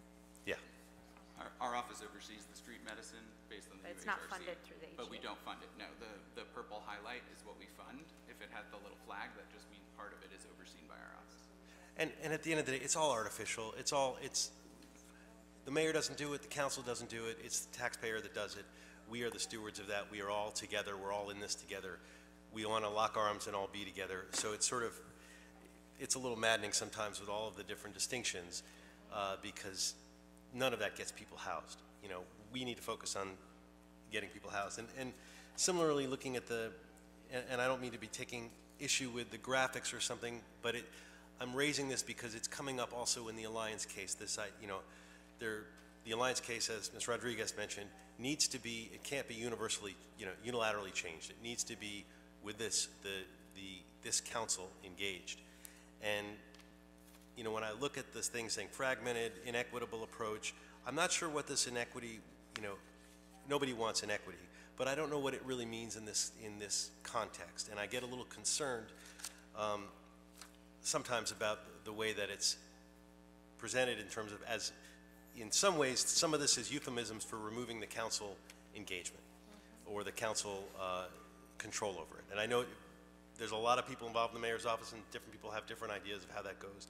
But that's a concern because we all made real obligations uh, throughout the process with, with Judge Carter and we have, we made, we made commitments to our communities about what we would make sure happens in our district. So yes, citywide makes a lot of sense, but we have to be careful that this isn't at the expense of the initiatives that are taken on a local level, you know, and local, a district, as we all know, and I don't need to remind us, but is bigger than most cities, uh, you know, across the country, and certainly in Los Angeles, the district is bigger than every, you know, all cities in Los Angeles except for Long Beach. Uh, so, and these are all cities that have unique approaches. So, I'm kind of just putting a marker in that because it's, it's a concern. I don't want to delve too, too deeply in it, but I didn't want to just let it go either because I do have concerns over that. Um, let me get, dive down a little bit more uh, specific questions. The, uh, the data. Um, we're seeing some improvements from LAHSA on Inside Safe data. How, how do we get the same level of attention and reporting from LAHSA on data for the other efforts outside of Inside Safe? I might have to call up, I think actually LAHSA's here, but is Calvin right here? And they did present their updated data the last time, um, which I think does give council districts and the city that level of detail. Some level, some level of detail. I, I'm still, I still have issues. I mean, uh, city provided additional funding for data staff at LAHSA with 13 positions, yeah, no, all that, but we're still not getting the data that we need. Uh, And, and we're not getting it regularly supplied to our council offices either. And, and the data that we're getting is not, um, is often not the, the real questions that we want to answer, you know. When we come across someone, who, who are they? What, what, what have, you know, what is their situation? What have they been offered services uh, before? You know, those kinds of things, which, which we're, we're still not getting. Go ahead. Hi. Uh, uh, Good morning, or sorry, good afternoon. Uh, My is Calvin Sung. I'm the Housing and Homelessness Data Director in the Mayor's Office. Um, I think the many issues you run into, we run into uh, as well. And uh, with new leadership at LAHSA, that's helped us actually break down some of these issues and bottlenecks in terms of data, real-time uh, synchronization of this data, uh, as, and better understand what's going on. Um, there's also, you know, unfortunately, a county portion to this data that we're working towards to better uh, bring that data into LAHSA or synchronize that data so that we can better understand all these different pieces that come to play. Um, but I think we are definitely uh, working towards uh, merging a lot of the data sets that everyone is requesting to better streamline the requests that data uh, that LAHSA gets from us as a city. Uh, that way we can better be on the same page in terms of metrics and what performances we want to reach to. Right, and, and that needs to be things like how many people in the district have been served, uh, access to the case management data, how many beds are open, how many are filled. Uh, You know, if we want to get throughput, we need to have that kind of information, and that's something that's still, despite years of talking about this, is still, is still a big frustration. Um, You know, we talked about the RV engagement, but the RV site, as we mentioned, is listed as Inside Safe, but that's obviously more than Inside Safe. Um, The rental assistance pro- uh, problem-solving funding is needed to enhance services offered by Circle. What resources are needed to enhance the services offered by the Circle teams themselves? Sorry, can you say that again? So how much rental assistance and/or problem-solving funding is needed to enhance the services that are offered by Circle, By circle? by Circle? Yeah. Cir- Circle was moved to the Office of Community Safety, so it doesn't fall under our office. But, okay. But he's- he's But it, it does, I mean, it's a homelessness response program that offers, it, when they're not on a proactive call, they are actually doing outreach uh, regularly. They deal exclusively with unhoused residents, and they are, um, they are providing case management services. So I think that's why Councilmember Blumenfield was asking the question. And I think for us on this committee, we've always considered Circle to be very much a part of our homelessness response um, because they've, they've acted as that in our districts. And, and with the data, we've got to integrate the data from Circle with the rest of the homeless data that the city's tracking. Otherwise, we're, it's not complete. Uh, There is work towards that um, within the mayor's office and um, to try to bring some of that data into a way where we can integrate it with the efforts that we're doing. Uh, It's multi, uh, it's not something that will happen tomorrow, but it is something that is on our um, kind of agenda in terms of integrating the data that we do have between different um, homelessness programs. Because if we're going to enhance the services for Circle, if we need to, we need to figure that out. And how else are we going to do that without getting that data? Um, And Circle does use HMIS. Yes, um, so that So end of it's- LAHSA It's part of the existing data stream. Correct. Um, so that data in terms of the individual profiles, those are making it to, um, LAHSA and, um, in terms of that integration. So we can come up with more of a citywide dashboard in terms of maybe specific programs, Inside Safe Circle and others, um, that all get housed into HMIS, um, and figure out exactly in terms of city-involved programs, what is that outreach in terms of the overall uh, outreach that is happening across the city by LAHSA. Okay. I know I'm jumping around, but, the- you know, we were talking before about the service provider scope of required services, the SRS. And you mentioned all these great things, um, which we also want to see in the interim sites. But you, you also mentioned storage, and I'm interested in that because I've been trying to do that in my district in a variety of ways. How does that actually work? Do you, let- uh, are private storage lockers rented, or what's the process there? Because we've done a pilot on storage, we've done a whole bunch of things on storage, and this is another approach. Exactly. Hi. Good afternoon. I'm Lee Hoffman Kipp, Senior Director of Strategic Initiatives. Thank you for your time. Um, So storage, it's a new LAHSA requirement for the 30 days of storage when folks exit interim housing programs. So our team looked at ways that we could offset coordinating that through a central contract. And so we're doing that um, with economies of scale. So- We're happy to share the contractor and all of that. Yeah, I'd love to see how that, that, you know, we've done, and to, to consult with you guys on that, because we, we've done a number of storage pilots where we had a nonprofit group where, you know, obviously Chrysalis has its big program, but we've also tried to do it as one-offs with, um, you know, with private storage operations. It's somebody that's already got a city contract, so happy to share with your, Okay. with everybody. All right, uh, I'll take that offline then. And then, uh, regarding the time-limited subsidies, separate question. How, much has the city committed to time-limited subsidies? How many time-limited subsidy slots, uh, is the city actually funding? And does that include the 18 million for rental assistance for Inside Safe?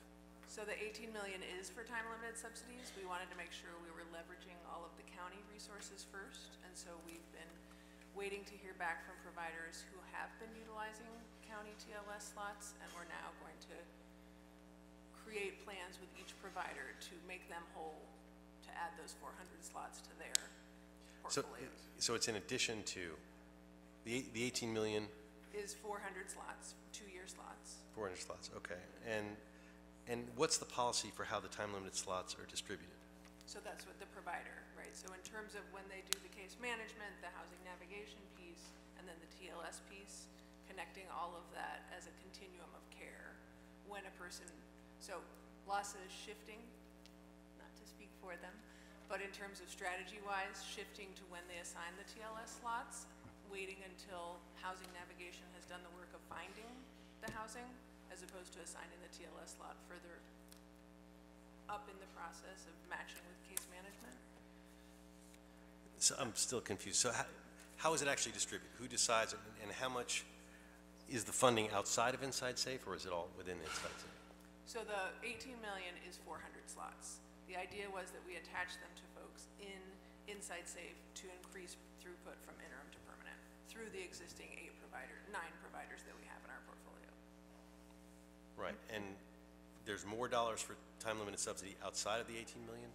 No, that is, that line item is the 400. We were saying that we've been, we have not expended those yet because the county at the start of Inside Safe gave the providers the authority to use underspend from county. And so in an effort to leverage existing county resources before putting in more city resources, the providers have been doing that and now we're making a plan for what the providers need.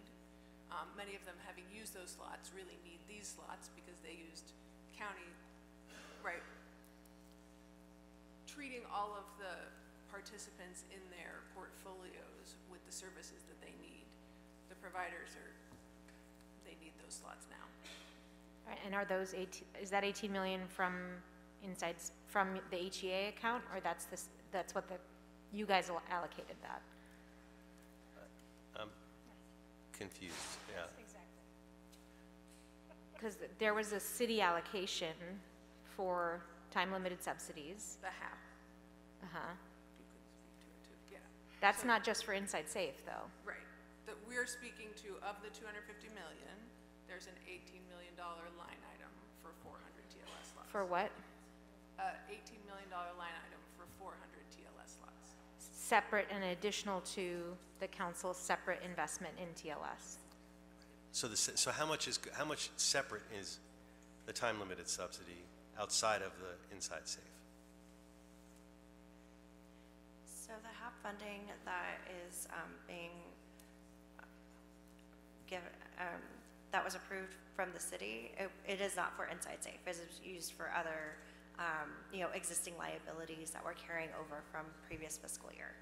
Um, So currently, if I understand correctly, the, um, the time-limited subsidies that are currently being used for Inside Safe participants are being leveraged from county funding, and as those um, leveraged resources are dwindling, then they will use or um, utilize that 18 million line item that's within the HEA budget.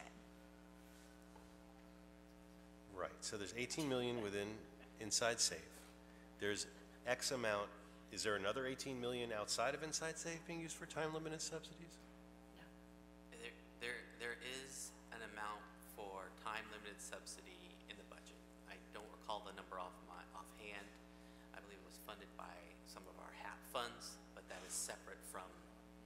That's above and beyond the 18 million. that is correct, sir. Okay, but we, don't- but the amount, we don't know. I'm I just guessing don't it's like recall 5 sitting million here or that something, but, HAP chart is- what's that? I just don't recall sitting here since there's a lot of things funded in that Right, no, It's a very distinct line Don't expect anybody to have all these numbers on the top of their head. I'm just trying to under, understand how it all fits together and how the policy is, is different in terms of how we u, how we use those in those time-limited subsidies. Is it the same policy for the inside safe time-limited subsidy? Is it a different policy in terms of how they get distributed? Because that's also a bit of a black box um, in terms of how how that works. And part of it's because, you know, you all get to spend a lot of time on, on this. We're spending time on a million different things, and so trying to peer into this is, is not always so easy. And I still don't understand how the distributions for time-limited subsidies, you know, what policies that is under and how that works. But, We'll bring that back. okay. Okay, I'll, I'll stop. Okay. Okay, um, well, I- that was, uh, uh, a number of questions that I think summarized, uh, oh, you have one more? Okay. Um, okay, I just want to make sure, so I know that you have to leave pretty soon. We have a member, two members out because of illness and other obligations, so which means we will have to wrap up at five. We have a few items. And Madam Chair, on, on, on five and seven, I know I called them special, but I will, I'll ask my questions offline, so I'm happy to approve them as is. and- Okay, so we can do that afterwards. And then I just want to, just in terms of time, I just want to make sure that we are able to, um, I know there's people who are very interested in hearing the LA Grand demobilization. We don't need a quorum here for, to do that, but, you know, I just want to make sure we hear it because I think it's really important. Okay, so with that, one more question um, from. Councilmember Rodriguez. So, uh, you have here on your list an RV safe parking pilot listed on this uh, effort. Uh, As I shared with uh, the new chief, uh, who was unaware that we actually piloted RV safe parking in my district back in 2018, and it doesn't work because it uh, actually causes more challenges for the service providers. They can't move them off the lot, and they become a bigger problem. So my question is, where are you targeting this? It- This goes back to uh, the missing link on uh, working, that we need to work together. Uh, Because, again, I don't like to learn the same lessons that we learned that failed uh, at great expense, and we test these things so we figure out what works, and we move forward with what works, and so that we could have some cost constraints, because there's a lot of money uh, invested in this. So my question is, where are you launching this RV safe pi- parking pilot, and where, uh, where, how much is being expended to it? Uh, What, what is the plan?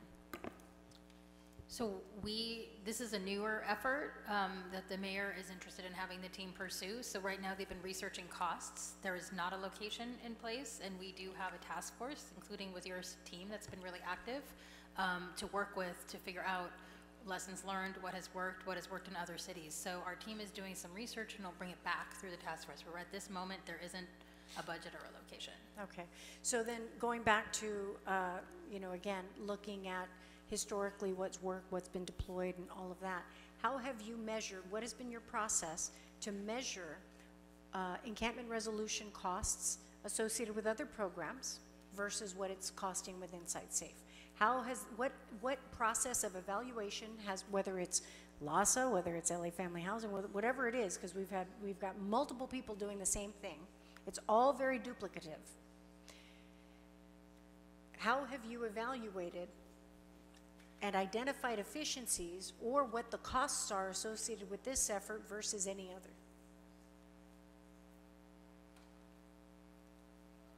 Are you talking about, you're talking about RVs? No, I'm talking about Inside Safe. I'm talking about this process of outreach, placement, all of these things. How, you know, there has been, through roadmaps, we had an effort, uh, and, and did placements and did encampment resolutions.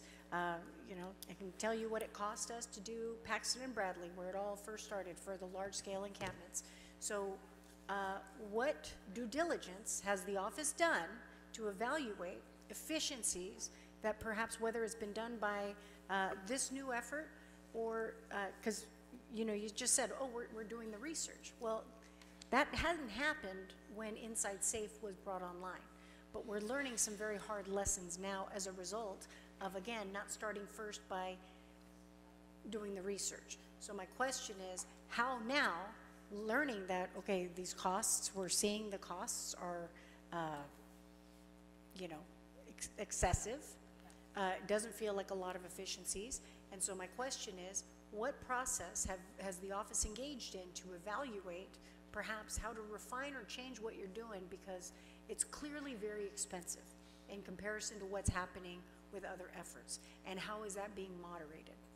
Well, I think one of the things we're showing is um, the retention rates, and I think that's important, one way to, to look at it in terms of people staying in, so we can get them the services they need and get them moved. I think the next year, a big focus, and again, I think we share this with you all, is working on the throughput, since we have units opening up and moving people in. So I think that's an important um, outcome to look at, is our ability to increase throughput.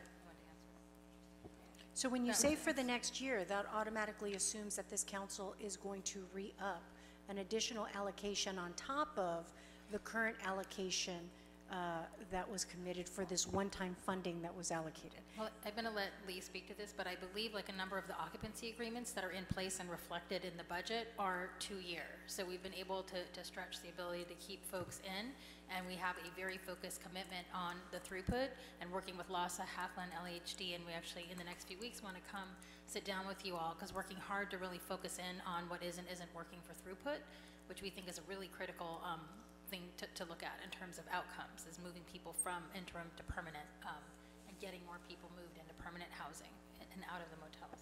I think you wanted to add. Would you like me to share some more of the history about the cost basis? Yeah, I, I I think, just I'm, gonna- wanna- I'm, I'm going to step in here and Yeah. just clarify the question again, because I think it's, we don't have that answer today, so I think it's really important for us to be moving forward. The question, as I understand it, is we have years of history in mm-hmm. terms of interventions in the city on addressing homelessness, including encampment resolution efforts across council districts. We now have a year of operations under Inside Safe. And before we are continuing to commit more funding to all of these efforts, how are we evaluating across these different interventions to see what is the most cost-effective and just plain effective way of intervening in homelessness in LA before we make further decisions on that? I don't think we are doing that yet. Doesn't seem like we're doing that even as through the process of, uh, of, of, of building out Inside Safe. And I would just add to that question, which I think is a very good one. Given that we have the obligations under the Alliance settlement and we have such high services costs here, the Alliance settlement actually provides mandates that the county provide funding for services. It's part of the settlement. So that $10 million that we've been paying, we, you know, going forward, and potentially could have been retroactive if the motels had been long-term leases or whatever, that we could have actually had that paid by the county. And maybe some of those motels can be, depending on how they're, they're operating. But I think this question of how do you evaluate between different interventions and how do you figure out what model is the best and most effective and most cost-effective way to move forward, and how do we ensure that we're getting every dollar that we deserve from the Alliance settlement, I think is going to be very, very important, especially as we move into a very bleak fiscal year. Um, and I think uh, you can hear from everyone on this committee that this is a, a, a key concern for us um, as we move forward. So I, I, I do want to say, you know, I always like to mark progress, halting um, as it can feel in the homelessness sector. Um, I have been grateful for renewed efforts from LAHSA on bringing better data to the table. I know we're not where we want to be yet, but I'm grateful for their work on this.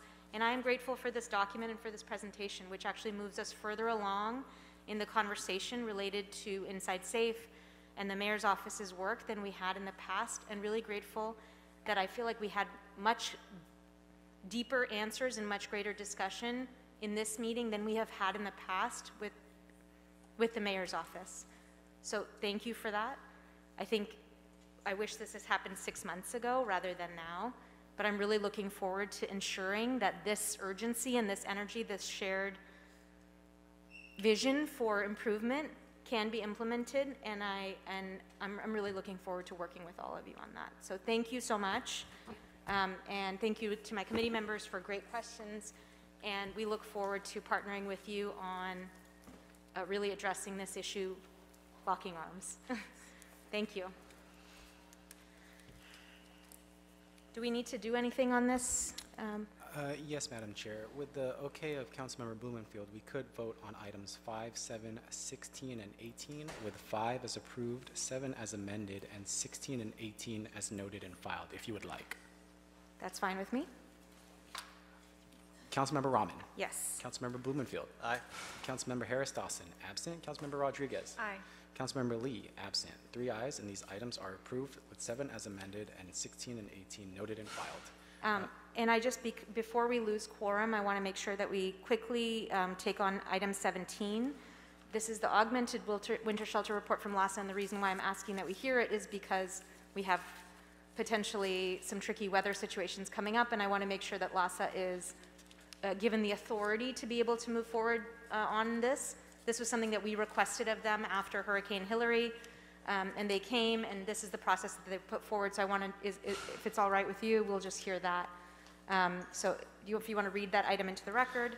Yes, Madam Chair. Item number 17 is a Los Angeles Homeless Services Authority report relative to the inclement weather shelter program. Great, thank you very much. And I don't know, um, council members, um, I read through this report, I found it fairly straightforward, uh, but I don't know if you had additional questions. And I did just want to say thank you to LAHSA for being responsive to this committee's requests for greater planning and foresight onto inclement weather planning here in, in inclement weather response here in the city. Um, and I just wanted to open the floor in case my colleagues had questions on this issue. Let me just real quick. uh, Sure, Councilmember Blumenfield, go ahead. How are we going to be notified of the results of the RFP, and, and how can we find out which locations are going to be made available? So uh, the RFP will, um, we are bringing it to our commission uh, for approval um, next week, I believe. Um, And uh, once those, uh, once uh, agencies have the opportunity to respond, those will go back to our commission for approval. Uh, The goal of the RFP is actually to um, allow us to have a bench of providers that could stand up services at a variety of sites. Um, There will not be immediate commitments of funding to these agencies. It's uh, similar to Inside Safe, uh, where we want to have a bench of providers that have uh, stood up and said that they're interested and willing to uh, staff into emergency shelters uh, as we respond to climate and weather-related emergencies. We are also requesting um, responses to this RFP that would include the provision of additional sites. Um, so we'd be glad to bring back the results of, of the entire RFP to a presentation at this committee if, uh, if that would, if you all would be interested. Um, but they will also be published uh, and discussed at our uh, commission meetings. Great, glad there's going to be a report back. And, and will this also include like uh, smoke issues or extreme heat and So the, the goal of the, uh, the year-round and climate weather shelter program is to be able to allow us to, ex- uh, to respond to any uh, climate-related emergency, whether that's extreme heat, uh, that's fire danger and need to evacuate folks from fire, or that um, the air quality conditions are so poor that we want to make sure that folks can get indoors. Um, any of any of those, uh, it's it's called out in the report, but specifically uh, we have uh, specific activation uh, criteria related to excessive heat, excessive cold, excessive rain, wildfires, Thank you. landslides, et cetera. Okay. Uh, and if I, if I may, super quick, Sure. uh, to your comment uh, at the beginning, Councilmember Raman, for this weekend we are in uh, the um, uh, winter shelter season, Right. so we already have authorization for response for this. Uh, the program that we're reporting on would allow us to have that um, Beyond authorization March.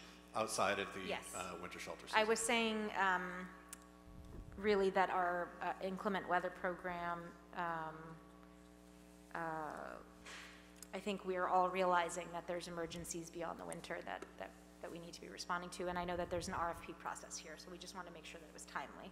Yeah, I just wanted to make sure everybody was clear Yeah. that we have, Great. have what we need to be able to respond this weekend. Great, okay. Uh, Barring any other questions, I would uh, recommend that we approve this item. Oh, note and file. Do we need- Councilmember Raman. Yes. Councilmember Blumenfield. Aye. Councilmember Harris Dawson absent. Councilmember Rodriguez. Aye. Councilmember Lee absent. Three ayes, and this item is noted and filed. Okay, thank you very much, I appreciate you. Um, Let us move on to item one. Yeah. Yeah, so let's, let's have item one, which is the LA Grand uh, demobilization. I know we had a number of members here in the audience who are waiting for this, and um, some other council office staff. Back, to welcome back. For the record, Madam Chair, item number one is our verbal reports from the Mayor, Los Angeles Homeless Services Authority, Housing Authority of the City of Los Angeles, and other needed departments on the demobilization plan that ensures all residents continue on their housing solution path. So this, you know, basically, this came out as a result of an amendment um, to the 21st roadmap report, and we did this when the other Project Roomkey sites were demobilizing. Uh, LAHSA was coming to the Homelessness Committee, it was the HMP committee at that time, to present updates on, on demobilization of all of our room key sites. And so, um, so I'm happy to continue hearing this. I noticed that only LAHSA is at the table. Uh, This particular item asked for a group of people, but maybe you could speak to what, what's happening there, and then we can, we can ask any uh, additional questions. Uh, Gladly, just given uh, time, I'll be as brief as possible. Um, Glad to take questions, though. So uh, LAHSA um, has begun work on our demobilization plan in concert with Weingart, the um, agency that operates the services at uh, the Grand, um, and in co- collaboration with the mayor's office. Um, We are, currently there are uh, approximately 430, I believe it's 438 residents at the Grand as of today. Um, There will be the opportunity uh, to move uh, approximately 300 uh, individuals to the Mayfair um, as the Mayfair opens, and so we are looking at approximately 136 participants uh, at the Grand that we will need to find alternative demobilization plans for. Uh, So we are working, as I said, actively with the Weingart uh, in uh, ensuring that we have uh, accurate accounting of resources that have been allocated already to those 136 individuals. Uh, Our expectation of Weingart and our LAHSA staff is that uh, participants will be offered uh, at least three opportunities uh, for interim house, alternative interim housing placements uh, during this time period, but our primary focus is on permanent housing placements as part of the demobilization. We, this plan mirrors uh, the, the demobilization plan that we had had in place for the grant originally. Fortunately, uh, this time we have far fewer individuals that we are searching for um, placements for, given that, as I said, uh, 302 of the current uh, residents at the Grand are part of the encampment resolution project um, that is centered on Skid Row and uh, are uh, receiving additional services through Department of Health Services and will be able to be housed at the Mayfair as part of that project. And what happens if the Mayfair doesn't open on time? So we're working with the mayor's office and DHS on alternative plans. Um, I, I would uh, defer to the mayor's office in terms of timing around the Mayfair, um, but based on what we know to be the timeline, we are confident that we will be able to move individuals uh, to the Mayfair in a timely fashion to be able to exit the Grand by June 30th. Okay, and I don't know if the mayor's office is here, still here to speak to the expected timelines at the Mayfair? Welcome back. Thank you. Hi. Lauren Stock, Deputy Mayor of Housing. Yeah, I think we reported at the December committee, May 1st, and that is still the date that is anticipated for the Mayfair. And uh, how will you, uh, you know, just, how do you, how will you know if you need more time at the Mayfair? When, by There when are- will you know? I mean, there are weekly calls on progress, so at this moment, again, there has been no indication that there's issue. In fact, I, I can't speak, Mia Mia Jackson isn't here, who goes to the calls every week, but um, my understanding is most of the work will be done by mid-April, and it's just some of the more tenant improvements for kind of the service area spaces, but the rooms are going to even be done sooner. So at this point, we don't have any particular reason to, to think that data is going to be off. But we, again, weekly calls, and then often there's daily calls for troubleshooting going on, so a lot of tracking. Okay, great. Other questions? Go ahead.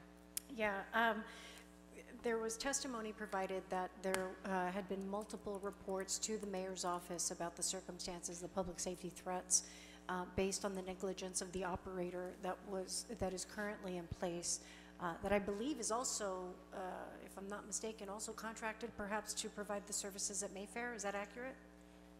What's accurate is that Weingart is the same service provider. That is not my understanding what's accurate about reports. We have had, re- and I don't have notes in front of me, sorry, I just ran up to the table, but there have been, there were regular meetings um, with the school, and particularly when the service provider switched over, it had been a prior service provider, and then the summer switched over to Weingart. Um, There had been almost no calls with issues, and any issues that have been brought to attention, we were having weekly meetings. Um, The, the school itself stopped attending those weekly meetings in August. Um, Or no, sorry, they, I think they started, again, I don't have, sorry, I don't have my notes in front of me on this, but there has been regular communication with the school and with Weingart, and have not really been any issues reported um, that we're aware of prior. Okay. Um, I, you know, I, it was odd to me, the, the principal, uh, when he provided testimony, uh, was in tears, as well as all the administration that was there, that said that they had been threatened by the former chief uh, not to communicate with the office anymore because it was uh, a problem. So, uh, again, I just, you know, I can only, I, talking to the constituent that is being impacted by it. Uh, And so, you know, there's always three sides to a story.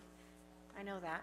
But I just, I'm, I'm curious if there have been uh, subsequent public safety-related concerns that have been uh, reported at the site. And you're saying no, everything's To great? my knowledge, no. Everything's knowledge, no. fantastic there. Interesting. Okay, I so. don't think those were my words, council member. I said Okay, to my no, I mean, well, there's no other reports, so it must be flawless. So we will, I, I need to take a visit. Um, So uh, I, I'd actually like to request that, given some of what had already been addressed by, uh, by these individuals, uh, I'd like to get uh, updates from the CAO, the mayor's office, and relevant departments regarding the safety concerns linked to the LA Grand Hotel, um, to be s- specifically so that we can address it, because, I- mean, I'm now compelled to go visit myself, uh, since you're, uh, you know, I'll take you at your word that there's no additional reports, but that's not what I'm hearing uh, from the, uh, from the teary-eyed constituents that were affected by it. So it doesn't jive, so now I gotta go check it out. So. We're happy um, to connect you with Weingart. We've actually done several tours for um, folks um, that are in, in and around the Mayfair and community stakeholders, so we're happy to coordinate that. Terrific. That'll be awesome. So I'd like to, I'd like to get uh, an update on, on what that actually is, because, you know, the, the impacts to these young people, is irrefutable. So Yes. I want to make sure that we're looking at everything, because if the same operator is in place, I don't want to make sure that we're moving the problem uh, from this location to the next. So maybe for the next meeting, if we can have a specific um, reference to that issue in advance, I think that would be great. Yep. Um, And then, uh, back to LAHSA, I just wanted to ask, how quickly will the demobilization plan for the 136 individuals start? So uh, we are uh, finalizing those plans now. We, uh, under our participant agreement, we uh, will be giving tenants, uh, the the residents at the the shelter, a 30-day notice, uh, and those will begin by the end of the month. Uh, So movement will begin uh, 30 days after that. Okay. The what will event begin 30 days after that? Uh, Movement of of individuals uh, to alternate sites. uh, So in that 30-day period, you'll be doing the three visits to the other locations or offering the three other alternatives? Okay, okay, great. And last time, when this process was happening for room key sites, we had the opportunity to have at least a PowerPoint slide um, along with kind of weekly updates on how many people were moving. So as soon, as I think as soon as the process has started, we'd like to get that same level of transparency for this process as well. I know you guys know how to do this already. We've done it once, and it was, you know, at least for our site, it was fairly smooth and successful. Um, And so we'd just like to make sure that we're seeing that level of detail again, and that we have something written for the record to make sure that we're looking at demobilization, particularly because I know there are concerned community members who are here, um, who've come to our both this meeting and to the council meetings regularly, so I want to make sure that they have that as well. We'd be glad to work with your office to start scheduling those as soon as we have. Thank you, appreciate it. Okay, uh, unless there's additional questions, you have one? Go ahead, Councilmember Yeah, no, and, and, and I appreciate all the, the comments. Obviously, you know, it was very compelling testimony when the, uh, students and, and folks came in and, and raised the concerns. Are there, are there actually encampments in front of the Grand now or in front of the school? Or is that, is that area clear? T- To my knowledge, there are not encampments around the Grand Island. We- you- No, yeah. there- Or, in- or in front of the I- school? We visited several times, no, we, not that to my knowledge, no. When I drove by last night, there were not. Okay. Great.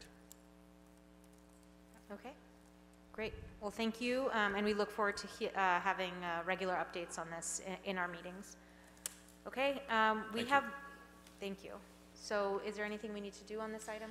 Uh, I believe Councilmember Rodriguez had an instruction that we'd have to approve, to vote Okay, to approve sure. on. Um, Do we have a second? I'll I'll second it. Uh, Councilmember Raman.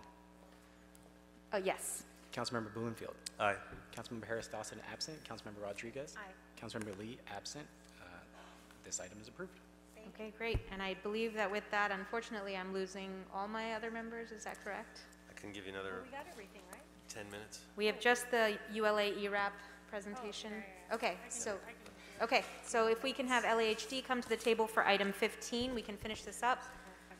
Um, I want to just make sure that we're moving forward with this. Okay. And if I could request that the presentation be as brief as possible, just to honor my fellow committee members' uh, external commitments. And if you Uh, could read that item into the record. Yes, Madam Chair. Item number 15 is a verbal report of the Los Angeles Housing Department regarding the United to House LA Emergency Rental Assistance Program and LAHD's new publicly available housing data dashboards. Great, thank you. And I did want to say that um, both for Inside Safe and for ULA, I've requested um, that more regular presentations be made at full council. And so I'm hopeful that as we move forward, that everyone on the council will be able to hear what we are hearing here in this committee in terms of the, uh, how, the way in which the money is being spent. But please, go ahead. Good afternoon, council members. Anna Ortega, Assistant General Manager of the Housing Department. Uh, Our first piece of information has to do with revenues. Uh, Good afternoon, or good, good evening. Good evening. Madam Chair and council members. Uh, It's good to see y'all. So uh, revenue to date, um, the most recent numbers, uh, most recent full numbers we have are for November. In November, uh, we collected 13 million point seven uh, on 36 transactions. That was clearly a dip from October's high number of 29.2. Um, What that brings us to for the fiscal year is 127.1 million. And then for the total, uh, since April 1, the commencement of the tax, um, we were at 142.7, near the 150 uh, that has been allocated, um, and we should be able to cover.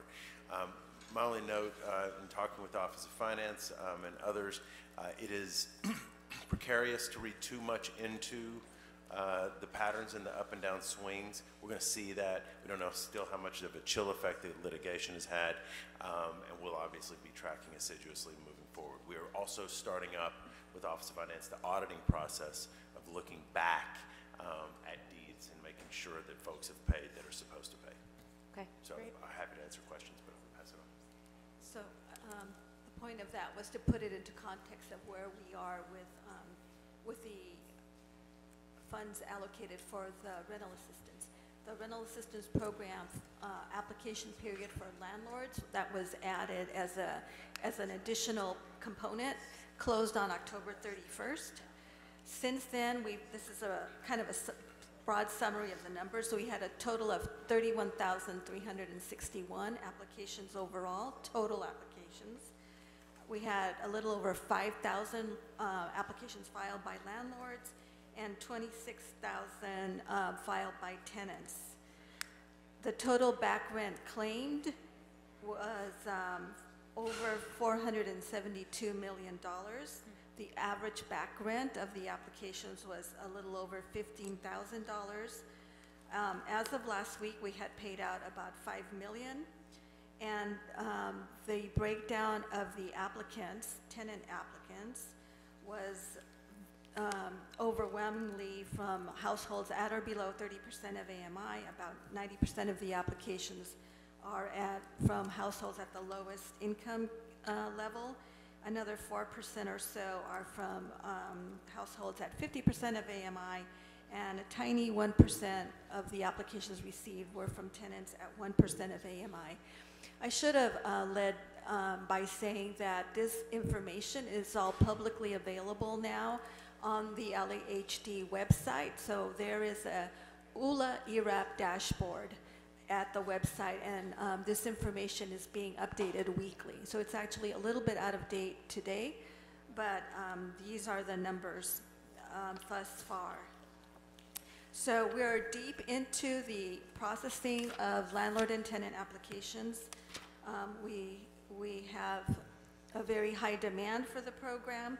We are prioritizing applications per the um, guidelines uh, adopted by the Citizens Oversight Committee and the City Council, which um, require prioritization of households at the lowest income at or below 30% of the area median income, households with minor children, seniors, and, and uh, people with disabilities. Those are the primary target groups, and due to the demand, those are probably the um, applicants that we are going to be able to serve with this funding. As you may recall, initially 18.4 million was approved for rental assistance, and then the council um, approved an additional 12 million. So right now, there's funding of about $30 million for rental assistance. Um, other priorities include households that are extremely rent burdened, paying more than 50% of their total household income for rent, households at high risk of becoming homeless, households for whom six months rent subsidy in its entirety will satisfy their entire rent debt for the unit they currently inhabit or who have entered into an agreement to repay the remaining balance. So um, we are processing applications in priority order. Um, as I mentioned, payments are going out. Um, this presentation says that we've paid out about 5 million. That's as of last, uh, last week. We, um, thus far, as of today, have actually paid or have in progress 6.4 million. Um, And when do you expect the rest of that to be processed, given It's going to be over the next several weeks and even months. Okay. Um, Some information about the um, applications that we've paid is provided on this slide. It um, also shows, and you will be able to see on the dashboard, the applications and uh, payments going out by council district. So CD4 right now has the highest level of payments, followed by CD10 and CD13. This is pretty commensurate with the number of rental units in the council districts. Um, Of the applications, about 28% of the applications were from Hispanic households, 32% were from African American households, and 22% were from Caucasian households, and 5% were from Asian households.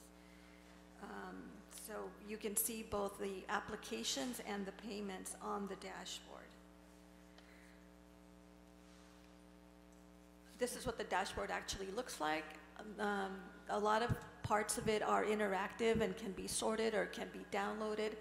The um, black numbers right in the middle are, um, represent all of the applications received and without revealing any personally identifying information for the applicants. But as time goes on, that will be able to show what the outcome was for all of the applications. Bottom of that is the payments by council district. And again, there's demographics and other valuable information there. We are getting a lot of questions about um, applicant status, and again, on the LHD um, webpage, tenants and landlords can check the status of their application. Um, There's a button right there, that blue button on the left, it says, check the status of a ULA application, and you can click on that and find out where the application is. The public can also call our hotline or email us. On the right side of this, it's I guess, very hard to see, but it um, shows the information needed to look up an application, and it has a um, uh, glossary for the definition of the different stages of applications. And So that is a summary. And this is, that's what a user sees when they come in and look at their application, they can look up the status. Exactly, they just need a few pieces of information, their um, application number or um, uh, their zip code, and I believe their phone number. So there's different ways you can get to the application that you're inquiring about. That is a very quick presentation of what's on the dashboard. We're really happy that it's up, and it will provide detailed information um, as time goes on. Again, we are updating it weekly. We also have um, the eviction filing dashboard, if you would like to see Sure. some of that. Um, What is your pleasure? Well, let's stick to this because I think there may be at least a couple questions on this, and I know people have to leave. Um, I just had one question, which is, uh, why is it taking several weeks to process applications? And if a tenant has qualified and is waiting to be processed, what is, you know, what happens then? What happens, like, does the land, is the landlord notified? Do they have to opt in? How does this work? Yes, well, yes. Um, Remember when, when we had the applications open, tenants could just apply and put in their basic information, or they could apply and upload their backup documentation. So uh, there is a whole procedure and process for tenant notifications that they met the initial eligibility. If they didn't submit, I'm sorry, I got it off the, the, um, That's okay, it's fine. Anyway, if they didn't supply all of their information up front, then they are asked for information. They can upload it, or they can make an appointment to go to one of the family source centers and have their information uploaded at the center, so there's an in-person op- option. Um, Then, once the tenant is uh, determined to be eligible, the landlord is notified, and the landlord also, this- in, under this program, both the landlord and the tenant have to agree to participate. So there is a whole series of steps that have to happen in reviewing the tenant's application and then notifying the landlord and getting the landlord to opt in. Okay. We sometimes send reminders to people to let them know that we're waiting for a particular piece of information. Uh, In certain cases, tenants are able to self-attest to their qualifications, but again, we're careful, and we have to do our due diligence that people do meet the qualifications. I think especially in view of the very, very high demand, we do need to um, prioritize the, the applicants according to the guidelines that both the council and the COC have set. So it's underway. Um, There are a series of notifications. The, our ability to process them quickly also depends on both the tenant and the landlord providing the information necessary to, to process and approve the application. But payments are going out. We do expect that it'll, it will accelerate in the next, in coming weeks. Um, I have some other questions that are based on frequently asked questions that are coming into our office, but maybe we can work together offline, given how late it is today, to answer those and make those publicly available both on the LHD website and on council office website for people who are seeking more information about this program. But I'm pleased to see that the dashboard is available, pleased to see that the eviction filing dashboard is also available based on the information that we started collecting last year. Um, And I think this will be really useful in terms of understanding how we can intervene in these issues going forward.